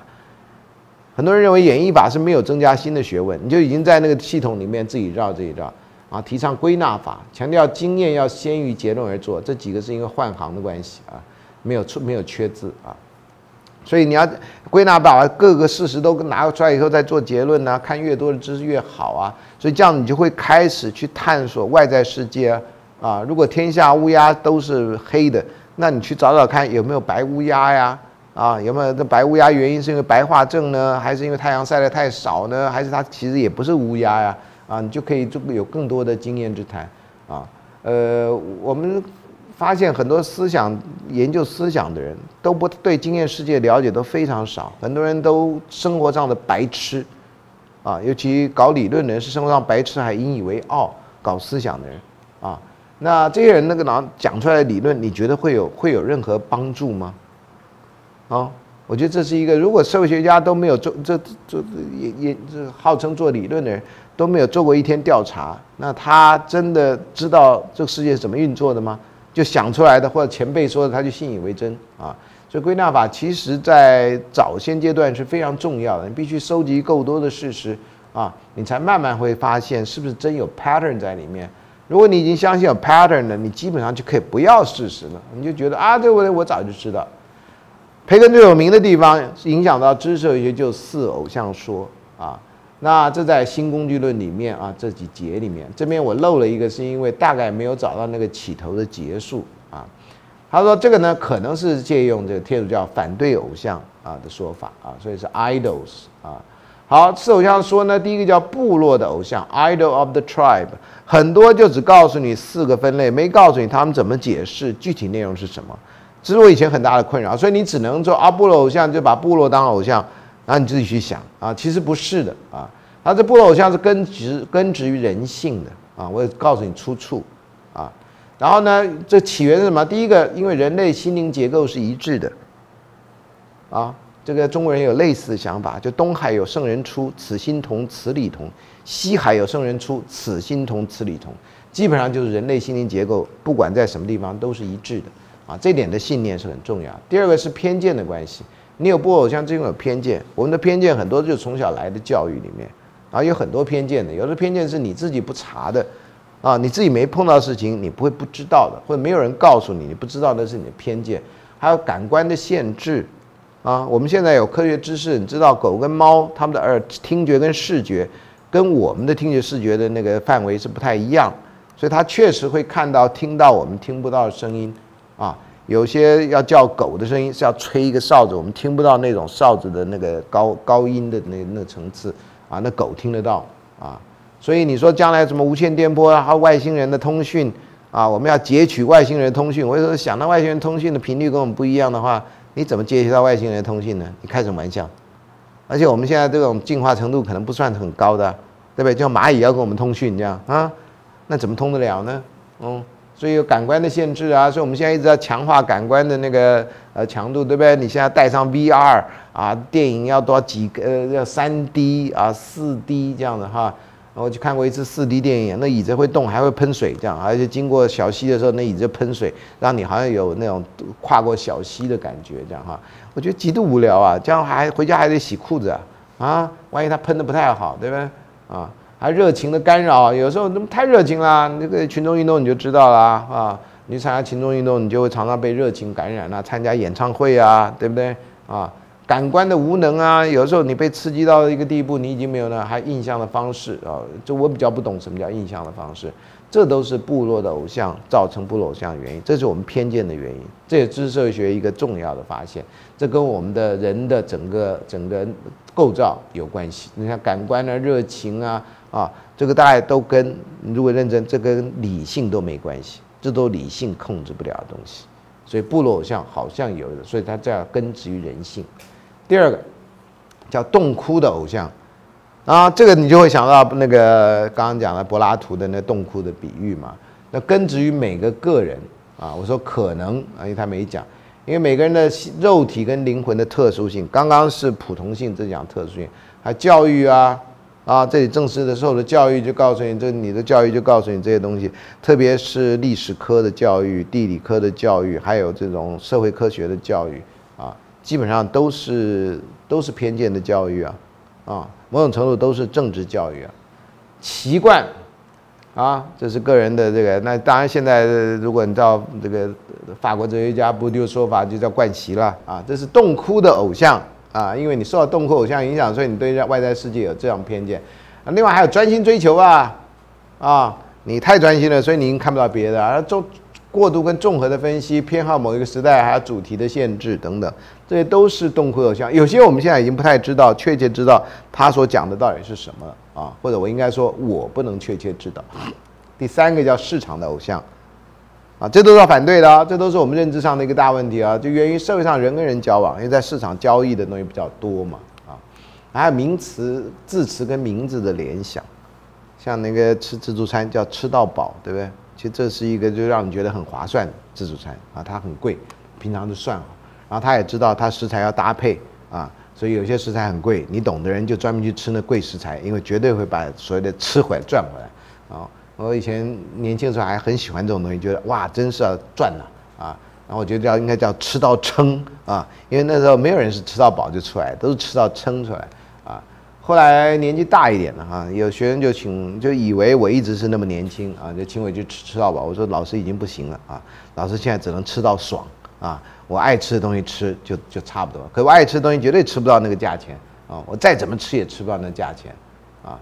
所以这个呃字跟名词的联想啊，我现在只能想到这个。当然还有一些是人民的问题啊。那这跟市场的偶像，就是你常常就因为跟人的交往，就会有这个产生这样子的呃认知的错误啊。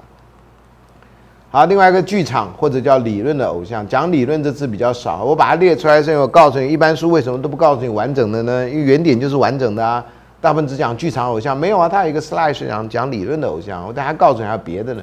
把古往今来哲学系统看成是表演，创造虚幻或艺或戏剧的世界，源于特殊的哲学体系颠倒展示规则。有时候你已经相信某些东西，你要再去看这世界，你就已经看不到这个世界。意思说你被你相信的东西所蒙蔽了。啊，这个在这个有教条、有国家，像像我们在念书的时候，三民主义啊，就蒙蔽了我们好多东西。现在共产主义当然让你看到，也当然让你蒙蔽了啊。马克思主义啊，所有的主义都能让你看到某些东西，但是同时也会蒙蔽某些东西啊，没有主义是完完整整，就像你信教一样，你信教，你大概就很难去接受多元成家的各种可能性，啊，嗯，而且你如果年金被砍，你也很难相信现在这个政府，啊，就是现在很多人的认知都被陷在一个小圈圈里面。我自己学知识社会学，我知道，我经常知道我的限制在哪，所以我经常希望。能够突破自己的认知的限制或自己生活的限制啊，但真的不太容易啊，真的不太容易，因为有时候就会被某些人认为我很冷血啊，我确实没那么热情，跟他们比起来啊，他们的那种愤怒我几乎没有啊，呃，我对那个没什么太大兴趣。我觉得人活的一生啊，你花时间愤怒，尤其像我现在血压比较高，对不对？然后万一愤怒起来，对谁有好处啊？啊，你们到时候还得付电仪啊，啊。这是不好的事情啊，所以为了让大家赚多一点钱再付电仪，我就要努力活下去啊。好，这是你看啊，在别的书有提到啊啊，时代勇勇敢的产儿这种书听起来像是一本励志的啊找产儿的一本书，对不对啊？这跟教养可能有点关系。还有讲到旅馆的偶像，idol of the end，道路的偶像，idol of the road，没有定义，所以不知道在讲什么。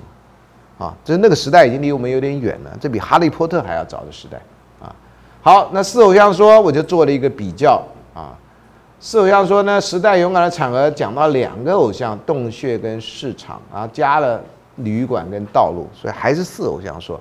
但是这旅馆跟道路在别的书上没有人告诉过你啊，你除了上我课以外，没有人告诉过你。你去看余立长的书，但还可以，但余立长书也不太容易看到了。第二，自然解释这本书的时候。洞穴有种族加上了，剧场加上，还有一个宫殿的偶像。论学术的进展，这个哈就只有三个偶像，没有四偶像。嗯，新工具论才有这四偶像，所以有些人看培根的书，只看新工具论，就说培根有四偶像说，那他答对的也只是因为在新工具论这个下面是答对的。那如果你说培根的总体看法是什么，就应该有这样的表格告诉人家，不是吗？所以严格来讲，不是四偶像啊，总共提过七个偶像啊。就是告诉你做学问，如果你都相信别人那样讲，你真的就不必做学问了。这也是另外一种偶像啊。我就告诉你，光知识社会学本身就可以来检讨知识社会学。所以这个培根的四偶像说其实是错误的，应该说七偶像说。如果我们要把他的整体思想看他的发展，好，所以这个呃。我呃这边还有说这个是并没有冠以名称啊，他就所以名有，但你从新工具论是很容易看到，很多人看书看一本就觉得他所有人是这样，这我是非常害怕的啊。很多人只看了不丢一本书，就说哦不丢的什么观念是这样啊啊，你如果看一个人的发展，你要看很多书才能够下这种结论，很不幸的啊。呃，外国教科书带头做这种很肤浅的事情，然后因为我们东方人念书都念外国的书，然后就觉得他一定是对的，所以呢，你就相信了这些肤浅的外国人写的书。你有真的书去看的时候，你就可以跟他同一个基础啊。我们都看书，看我们看出什么来？我们还先不讲翻译的好坏问题，啊，还不讲翻译的好坏问题，至少新工具论，你多看这两这几本书，你就跟就比他看的多啊。所以我觉得做学问只有认真一点。跟不认真一点的差别啊！我以前讲认真跟不认真，现在加上一点啊，认真一点跟不认真一点差别。你认真一点就能够对他就就能够超越了前人说法。做学问如果不能超越前人，就像你如果不能超越你的老师，请问你活着是为了什么？啊，我们这不是宗教哈，你不是在这边感恩赞叹而已啊。好，那是偶像说参考的地方还有这个 Roger Bacon 是他的爸爸啊。然后他有类似的看法，所以到底是他的看法，他爸看法相对。然后另外还有手抄本这部大著作里面有崇拜无价值的权威，把世界的心理障碍，崇拜无价值权威。这里的观点问题在这里，所有被崇拜的权威在当崇拜者当中都是有价值的。我的粉丝都认为我好到不行啊，啊，我基本上属于圣人状态啊。如果粉丝可以投票的话，我大概孔庙就是下一个就是我了，啊，那粉丝嘛，对不对？你就觉得孙老师不得了啊，对吧？啊，如果不是粉丝，那我就我这是干嘛呢？对不对？所以崇拜无价值的权威啊，对有人来讲，我到底是权威是有价值还是无价值，那就是另外一个判断。第二，受习惯的影响，长期固守过时盛行的概念，这特别是我们老人家不学新东西的时候啊。哎，当初我学的时候是这样，是是是，但你不知道世界已经进步了吗？啊，你要不打开一看，已经没有马车了，啊，虽然还是有脚踏车啊，但没马车了啊。第三，流行的偏见，不学无术，没有根据的推理，啊，我觉得这都还是骂我现在日常生活见到的某些人，啊，所以学知识社会学常常有一股怨气，然后都被发现，你就啊，历代人都这样啊，嘿嘿，那我也不是处于最烂的时代嘛，啊，或者不是最好的时代，但至少不是这样。潜在的无知啊，由于人们认识骄妄虚夸而来的过度愚蠢。不知道自己的无知，反而夸耀之，啊！我常常真的在我们这一行或者在哪里，常常觉得哇，有些人夸夸而谈，怎么样怎么样？我说你见过那个世界吗？你怎么就敢谈那个世界呢？哎呦，中西比较啊，中国人怎么样？西方人讲，西方人有很多种西方人呢。那就像中国人有很多种中国人呢，我这文化意义上的讲法哈，你应该知道啊。你怎么就看到一个就觉得怎么样的呢？啊，一个西方人不如你，那那个人可能是某一个国家最烂的人，然后觉得你看西方就这样，来找到另外文化里面可能最优秀，你看那国家文化多高尚啊！我常常觉得这种这种我都懒得对话啊，我就离开就算了啊。那听到了我都觉得该去洗耳朵啊。好，那这个是余地长的书里面引用到这本书，这本书我没看到他讲版本啊，所以这没空着啊，所以还有这样子的分类方法。那伟大的复兴这一点哈，他基本上把它分成科学的划分、新工具，他已经出版过啊，像这个宇宙现象，为了哲学基础所做自然跟实验室，刚刚也提到这本书，智力的阶梯啊，前辈或新哲预期、新哲学，所以他这个介绍是一个类似把科学当成一个知识的一个重要的著作。啊，这个在中国的传统里面没有见过这样的东西，啊，呃，这是在十六、十七世纪的时候，啊，啊，他还有一个，呃，他评评断亚里士多德诗音说，啊，呃，表示他已经要开始超越了，啊，呃，他说正当真正的知识是原因的知识，这是正确立场。马亚里士多这样说是对，但原因并不恰当的被分分为四种，啊，这是他觉得不不恰当。而目的一呢是适用于人类行动，但不仅无助于，反而有害于科学发展。特别是科学发展认为所有的东西都要证明这是上帝的美好的设计跟创造。啊，第二是形式，呃，接下来形式因的发现是非常渺茫的，你不太可能发现形式因。第三，物质因跟效果因，他们认为是原因，并没有研究导致此形式的潜在过程，是不重要跟肤浅的，对真正活跃科学有什么帮助？不管他批评的对不对，或他批评到底是针对什么，至少他已经吹响了这个号角，啊，呃，别人不一定敢，不不一定就会相信他而不相信亚里士多德。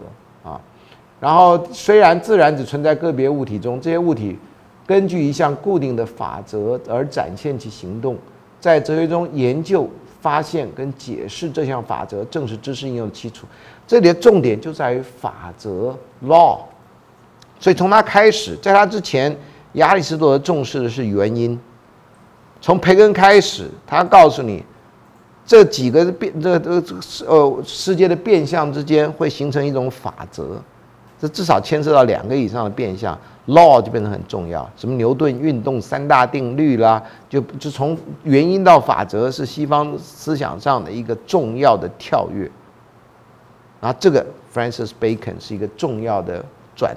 就在那个重要的分水岭上面，啊，然后这里他也提到论尊严跟学问的增进的科学有分类，这科学分类我在那个讲义里面，因为那个分类很长啊，我列了一个没办法把它摆在一个 PowerPoint 的这个表里面，所以我就没有放上来。它的科学分类非常的细致啊，非常的细致啊，呃，比中国传统的什么经史子集啊这种哈要来的细致很多。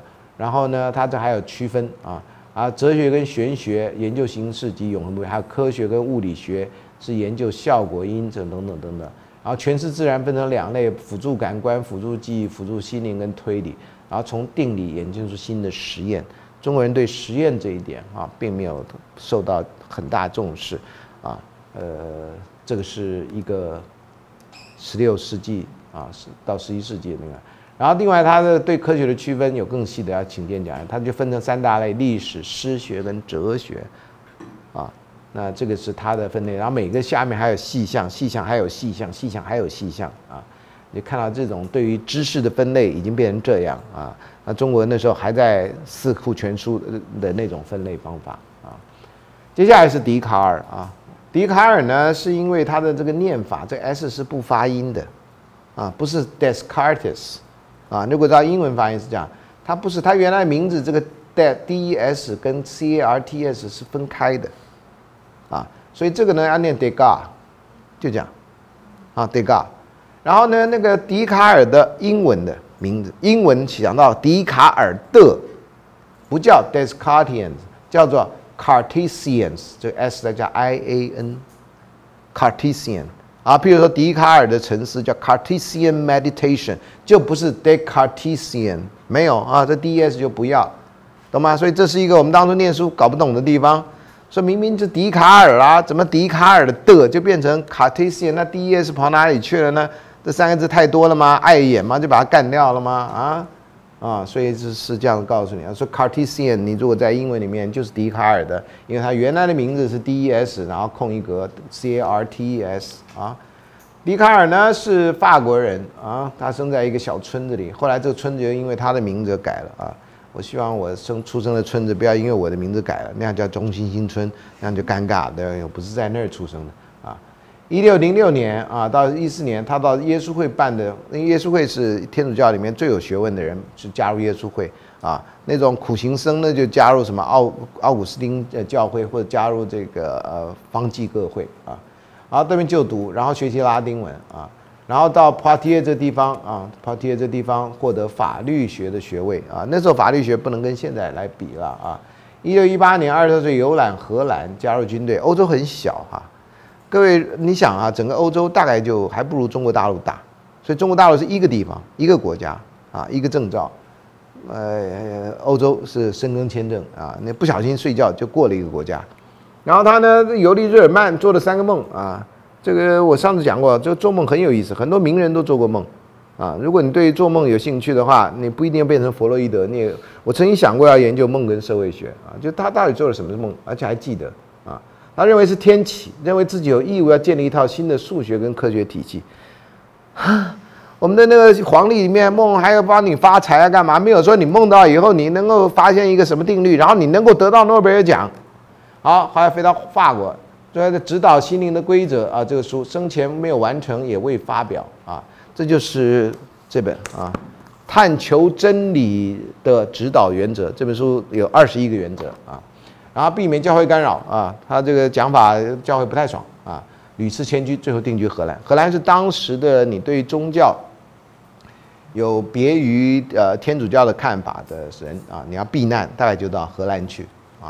美国在一九五零年代麦加锡主义时代啊，反对这个呃任何有共产党嫌疑的人都要被干掉啊，都要被骚扰，被那个呃呃解聘啊。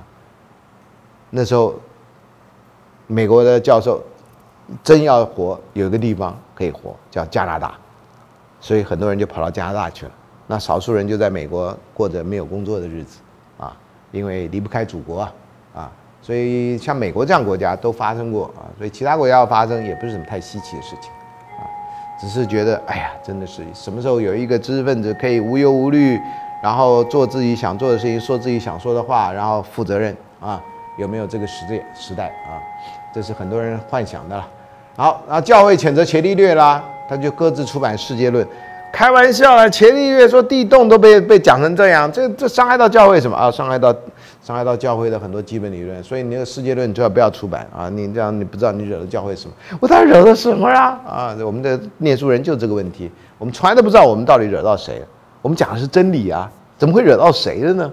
啊？这知识分子常常就是这样啊，然后他哪还你看女仆海伦的私生女啊，法兰辛出生，你看这个历史就有人就喜欢这种八卦，对吧？啊，他有私生女这个事情关他的学术什么事情呢？八月七日受洗啊，啊，后来就早夭了啊，然后匿名以拉丁文发表光学、气象学、几何学，还有这个最有名的叫方法导论。这方法导论是三本书的导论，所以这导论是一个科学的一个导论啊。而拉丁文出版第一哲学沉思录，就后来简称叫沉思录的书啊，然后还有前六组的反对意见跟答辩啊。如果你学一点哲学史或什么，老师对这个有兴趣，大家就讲更多。然后沉思论第二版出版，然后附录七反对意见答辩，还有给迪内的信啊。这个然后一四十七岁那年啊，荷兰的乌特列支大学谴责笛卡尔哲学啊，有的是教会写的一个学校谴责。和波西米亚的伊丽莎白公主展开长期的通信。那时候的公主真有学问啊！啊，跟学者通信！我现在也很少有公主跟我长期通信啊！我希望超越时空，可以跟如意啊什么的人啊，什么妃啊通个信，不然他们在后宫蛮无聊的，对吧？可以教他们一点知识社会学道理啊啊，让后宫更加无聊啊！啊，游历法国出版《哲学原理》这本书啊，这本书也没有中译本，然后法国国王授予奖金啊。这我梦寐以求的啊，希望哪一天我们的总统或哪一个基金会的人发现我实在是很优秀的人才啊啊，就送我一大笔钱，然后开始写作人体素描啊，然后接受这个呃布尔曼的访谈，后来也跟布尔曼谈话艺术出版，我没看过这本书啊，我很喜欢这种访谈的书啊，像那个歌德对话录啊，我小时候就很喜欢看，因为你你可以从这种很平铺直叙的话里面认识一个伟大人的侧面。不然我们直接看这些伟大的人物，他所做的事情都伟大到不不知道怎么办才好。如果你看这些访谈，你还某种程度可以看出他的人性这样啊。还有一个叫《出版灵魂的热情》，哎，这本书我最近有看到中国大陆的中译本啊。好，五十四岁之后每天清晨五点替女王讲学，这真是折磨啊！啊，受寒得肺病啊，然后没多久就过世了啊。所以有人请我去讲学，我一定说不能在五点啊，啊，不能起早啊。啊，太阳没出来，本人是不会起来的啊，所以就是预防像笛卡尔这样，他五十四岁就挂了啊，本人现在活到六十一啊，啊，比他多活了七年啊，我的的历史贡献绝对不会比他多。那后来什么论人啊、探求真理啊这样东西出版啊，那《沉思录》这本书啊，我们稍微讲一下其中的，那这里面有好多的译本的知识啊。第一个，他第三沉思的这个标题叫《论上帝》，它是存在的。哎，那时候你要讲上帝不存在，你找死啊你！啊，上帝不存在，你也不存在了。我跟你说啊，这里就叫叫做 Cartesian dualism，就是笛卡尔的二元论。可是笛卡尔二元论，其实你认真看一下，除了心跟身，心跟身这个在刚刚柏拉图的时候就讲过了吗？感官世界跟相的世界就是一个二元的。为什么他讲？因为在这思跟在的问题啊。他讲了最有名的话叫“我思故我在”。但这里句话其实是蕴含的，我思其实已经早就蕴含着我在，因为你的思想不能可能脱离他的身体嘛，哦，所以我思故我在是最有名的一句话啊，所以思跟在就变成两个层，就是说这个在就变成我们在一开始知识学分析的时候那个所谓的社会存在啊，social existence 啊，或者我们所谓的社会结构啊啊什么的，然后思呢就是思想啊、知识啊什么的，所以思跟在就变成。就变成知识社会学的一个重要主题，然后他把它二截然这样的二分了，啊，那这个就是他的呃 Cartesian dualism，所以很多西方的教科书都说，到了笛卡尔以后，西方就呈现一个二元论的世界，这是简单的说法，根据就是因为这样子的说法，可是这东西是不太确实的，因为柏拉图就说了。啊，只是柏拉图影响可能没有像笛卡尔这样，然后很多人大也不是真看笛卡尔，就看了一些二手书这么说，然后就跟着像鹦鹉学舌一样就跟着说。啊，客观主观呢，这我们现在很流行的说法呢，也是他在这里区分的啊。所以讲他大概也跟这后面思跟在客观主观的这个区分有关，心跟身也不是他的创建。你如果读 t u r g a n 的有一篇文章，他在讲到这个所谓人性的二元论，基本上的区分也大概是这样。啊，所以这个你可以就可以说啊，涂尔干的那个呃人性二元论的说法，根植的就是笛卡尔的这种这种二分法，这样啊，存在思想中的就是客观的实相，这跟我们现在想法不一样。我们觉得是存在客观的实相，就啊 reality，如果是在外界世界的，不是活在我们脑中的，我们脑中的我们现在叫主观呢。啊，客观是活生生在那里的啊，有一个车站在那，那是客观的啊；有一个石头在那，那是客观。不相信踢他一下，看你脚会不会痛啊？啊，那个呃，这个在哲学史上很有名啊，有个家伙就不相信这种东西啊，他说哪有啊？那都你想出来，他就踢那石头，然后痛得哇哇叫，的，神经病啊！哲学家真的是，石头在那里还去踢石头，拿石头 K 你啊，神经病啊！那这里，所以这里面是跟我们现在想法是刚好是一个颠倒哈。我们现在认为客观实际上是具体外在不不随我们的意志而转移的东西，那叫客观。可是呢，他觉得那个在思想中才叫客观。OK，所以这里有一个大逆转，就是明明笛卡尔是这么说的，为什么到了我们现在，我们都说我们根据是笛卡尔的二分法，那怎么就转过来了呢？啊，哼，啊，我第一次读到的时候，我也不知道他是我看书看错了吗？怎么会这样呢？啊？后来看到也有人注意到这个问题啊。啊，另外一个就哲学原理啊是有翻译的不完整啊，他就列了几个这个呃类似定理这样东西。他比如说为了追求真理，我们必须在一生中尽可能将所有的事物怀疑过一遍啊。当然，有的人怀疑的事物多，有人怀疑事物少，你就千万不要怀疑你的朋友啊，呃，因为你教这么呃用人不疑，疑人不用啊，怀疑你的朋友，怀疑你的下属，你就很难做很好的上司啊。凡是可疑的事物，我们都应当把它当成是虚妄的哦。然后呢，在人生修养方面，我们就不该怀疑啊。所以这个他人生修养跟做学问，他就两分两截。胡适也说过类似的话啊。做学问要在不疑处有疑。做学问的时候，人家都发现那没什么问题的时候，你要在那里发现有问题，你就能够有学问的突破。这胡适说。然后做人要在有疑处不疑。做人的话，人家都说那个人怎么样怎么样，你就要相信他，你这样才是成功的啊。这是一种说法，跟笛卡尔说法是一样的。他有没有看过这段，我就不知道了。第六段第六个定理说，我们有一个自由意志。这是西方哲学上的一个大问题，也是西方宗教，就人到底是自由意志还是决定论？啊，如果有自由意志，那上帝所决定的事情，我们能改变吗？啊啊，一个最极端的说，我们能够自杀吗？因为自杀是自由意自由意志最大的表现。因为西方谴责自杀，是因为你的命是上帝给你的，所以只有上帝能拿回去，你不能拿回去，所以你自杀你是开玩笑吗？那不是你的东西，那上帝的东西，你是借来的。哦，所以不要不要小看这个观念上的一个大差别，借此可以反对可疑的事物，因此避免犯错啊，因为自由意志啊。那有些人认为自像那个呃存在主义者认为人是有自由意志的，这在这个以基督宗教为主的国家里面，这是很大的反叛啊。我们没有这个，我们在这种文化里面没有这种宗教的这种这种意识形态在里面，所以我们的想法会比较自由一点啊。但是有时候我们有政府啊，我们的政府跟教会的功能差不多，我们的自由意志能表达也是很有限的。第七个说我们在怀疑的时候不能怀疑自己的存在啊，这是我思故我在的一个道理。说你怎么怀疑都不可能怀疑你自己的存在，因为这样的话你就不可能思了啊。而且当我们依次推论的时候，就可以获得第一知识。所以他认为我思是一个我故我在是一个基本的，因为你怀疑到最后你不可能怀疑自己不存在啊。第八，我们因而发现心灵跟身体的区别，这刚刚有写。然后或能思想的事物跟物质事物的区别啊，所以因为你我思，所以才有这个外在世界跟你。然后思想是什么呢？啊，就我所知，思想一词指的是我们在自身所直接意识到的一切。因此，不仅理解、意欲、想象、思想，即使知觉、意识和思想一样。当然，这部分名词可能跟我们现在的一些意思不一样啊。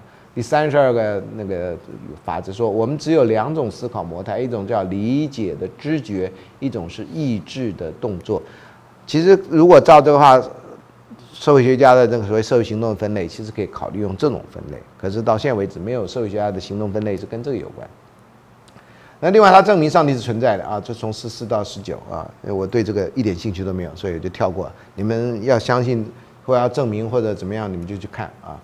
呃，时间有限啊，这这里也是啊。哦，这里有一个稍微说明一下，上帝不是我们错误的原因，所以我们会犯错，不是因为上帝，懂吗？啊，这个师傅什么都好，这个就是因为我自己不努力，所以我最近才会这样啊。师傅给我了很大的加持啊，所以所有的好处都归到上帝啊，都归到师傅，所有的坏处都是因为自己不努力，懂吗？啊，我跟你讲，教这种人实在太太高兴了，懂吗？啊，老师你真的教的太好啦，我这就是我没好好念书啊啊，我们就省去了一些麻烦。那人的错误哪里来的？这是非常有意思啊！你讲知识，你一定要讲错误啊，因为知识常常有错误的，除非对所判断事物没有充分了解，否则绝对不会犯错。所以犯错的原因就是因为你没有充分的了解，这是第一这个命题所了解的。第二，意志的范围比理解大，这是我们犯错的原因。所以有时候你意志太强了，然后你的理解太弱了，所以你就觉得啊不应该是这样，所以你就犯错了啊！你没有根据事实来呢，你根据你的意志来做最后决定。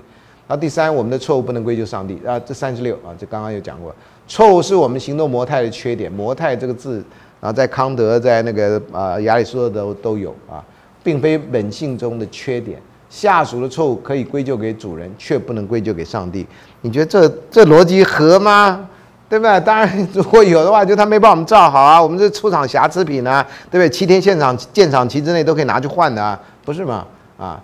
虽然我们绝不会欲求犯错，可是我们所以会犯错，人是由意志而来。这门字打错了啊，所以我们就有意志，你会犯错啊。那你的自由意志，人就有犯错的权利，这你就是人呐，不是吗？如果照这个逻辑，如果我们只同意自己所明白而清晰知道的事物，就绝对不会犯错。明白而清晰变成一个很重要字，在英文里面就叫 clear and distinct，C and D，啊，所以这是知识的一个特点。只要它是明白的 clear，而且 distinct 很清晰的知道，你就不会犯错。所以你要知道它什么是真理，真理的特质就是 clear and distinct。照这个标准，社学理论有很多根本就是不 clear 也不 distinct，你完全不知道他讲什么。啊，这个非常重要，clear and distinct。第四十四，他说，在同意自己所不明白的知觉的事物的时候，虽然我们判断也许是真的，可是这种判断毕竟是不正确的，因为记忆屡次欺骗我们，令我们相信某些事物是以前充分了解过的。这已经离开柏拉图很远了。柏拉图认为，你的记忆就是前跟前世的学习啊，你的学习就是前世的记忆。这边也不是记忆会欺骗你，在柏拉图来讲，记忆怎么可能会欺骗你啊？四十七，为了找出扫除我们早年的偏见，必须探究我们每个简单意念中到底含有什么明白的东西。啊，明白就是明白，clear，OK。好，那错误的原因，第一个小时候的偏见，这跟培根的那个没什么太大差别。第二个原因，无法放忘掉这些偏见，你偏见你还忘不掉啊。第三个原因是我们专注于那些没有呈现在感官事物，心灵变得越来越疲乏。因此，在判断这些事物的时候，就惯于不根据当下的根知觉，而根据先入为主观念。我们很多都是从根据先入为主观念啊。我们的错误第四个原因，在把思想依附在文字上，可是文字却无法精确的表达思想或实在性啊。所以这里面强调一个语文的问题。这问题后来被放得很大，在某些学派里面，哲学里面有一个叫语言哲学，社会学里面有人在研究语言社会学，或者叫做呃会谈分析。就是强调这个字或者语言对于社会生活的影响。你如果有过经验啊，特别是失恋的经验，当然这蕴含着谈恋爱的经验，你就知道语言的表达真的是非常关键的啊。很多关键的话就是因为你讲错了啊。你如果是政治人物，当然你就更知道啊，这语言的表达是非常非常重要的。啊，最后什么叫真知？说我们必须知道，我们探求的不是万物的目的因，目的因谁讲的呢？亚里士多德讲，对吧？所以你没有前面的东西，你就不知道。你光念这个，你就不知道他讲什么，而是他们的动因。所以我为什么要这样子，到前花一点时间啊？虽然也不是我的专长，去找到前面人讲什么，就告诉你这个想法是连续的。好，思想的这个连续性很重要，因为没有这个连续性，你就以为它是天这石头蹦出来的，没有啊。好，然后这样，凡是我们所能明白跟知觉的，都是真的，所以我们可以免掉上面的怀疑。啊，所以你只要能够明白的知觉都是真的，啊，明白而且清晰的知觉，说 clear and distinct，凡是能呈现给专注的心灵又为其所明显的了解者，称之为明白，啊，就像一个对象，如果呈现凝视他们的眼睛之前，并且足够强的来刺激眼睛，眼睛也处于适当的位置来观察，这里就就把生理的东西拿拿出来讲，则我们可以断定自己明白的看到那些对象，至于清晰，则有其精确的意思，而且能与。其他一切对象分清，它本身所包含的，除了明白数之外，就没有任何的东西。啊，所以这个当然后来很多人很认真再去讲的时候，呃，这的明白跟清晰又没有那么明白，也没那么清晰啊。这这有时候，第二这个部分在四十八节，他说我们知识的一切对象，英语本说知知觉的时候对象不是知识，而是知觉。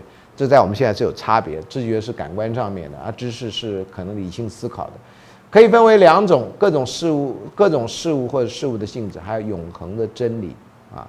啊，结论总论正确推理的必要条件。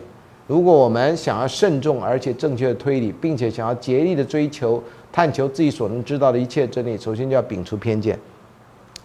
托尔干在社会科学方法的规则里面也有。啊，在最后一章吧，好像要摒除偏见，这讲法跟笛卡尔有什么差别呢？他有没有引用笛卡尔，我就不记得了啊，也是要摒除偏见。他说后来的诠释学说根本不可能摒除偏见，Come on，你们开什么玩笑啊？我们不是机器啊，我们是人呐，摒除偏见本身也是个偏见呐，啊，所以后来你碰到这些人，你就没话讲啊，他反正什么东西都可以把它掉到你自己头上啊。所以那样有些人出来搅局的啦啊，我觉得基本上还是可以有某种程度的偏见了啊，可以摒除了，换到另外一个层次。换言之，必须首先很仔细的保留以前所同意的意见，经过进一步的探究之后，如果发现他们是真的，才予以接受。其次，必须依次探究自己心灵中所有观念，并且只认为我们所能明白而清晰了解观念才是真的。这里面当然还有个人程度的问题嘛，对不对啊？所以清晰而明白的啊，还有我们应当信服神圣的权威。那这句话讲给教会听的啦，而舍弃自己的推理，万一没有什么得到神圣显示时，我们只能赞同自己所能明白了解的时候，这还是不有点保留啊啊！如果上如果没有得到神圣显示事物，就是说看起来不是上帝给我们的，我们还是应当赞同自己所明白了解的事物。咦啊，难道要逃到荷兰去啊？哎，普遍观念 （universals） 啊，普遍观念是如何形成的？有种啊。类啊，这后来到了林内的二名二名法是后来还之前啊？查一下年代啊，差异啊，特性啊，什么偶有性的这五个普遍观念是什么啊？啊，普遍观念产生是由于我们在思考一些类似的特特殊事物时运用了同一观念。如果我们在同一个名称下的思考这个观念所表达的事物，这个事物就变成普遍啊。所以讲到 universal 是这样啊。好。这个大概就是我们这个部分讲到西方责任的知识观的讲义，我们只讲了四个人啊，呃，柏拉图，其中有一些可能是苏格拉底的啊，亚里士多德啊，四因说啦啊，三段论法啦啊，还有他那个对于真知的看法啦啊，呃，大概那些东西，还有就是培根啊，他的那个把从原因对原因的追求改成对于法则的追求啊，还有他对于那个整个。呃，偶像说的这种这种呃说法啊，不是似偶像说啊，那其实是是不完整的啊。呃，还有就是后来笛卡尔的这种设立的一些原则，希望清晰呢。哦，那个培根里面还有很重要，就是把对原因的追求啊，在科学上改成对于法则的追求啊，所以这个一直到现在还是很重要的啊。所以这就是今天的课程。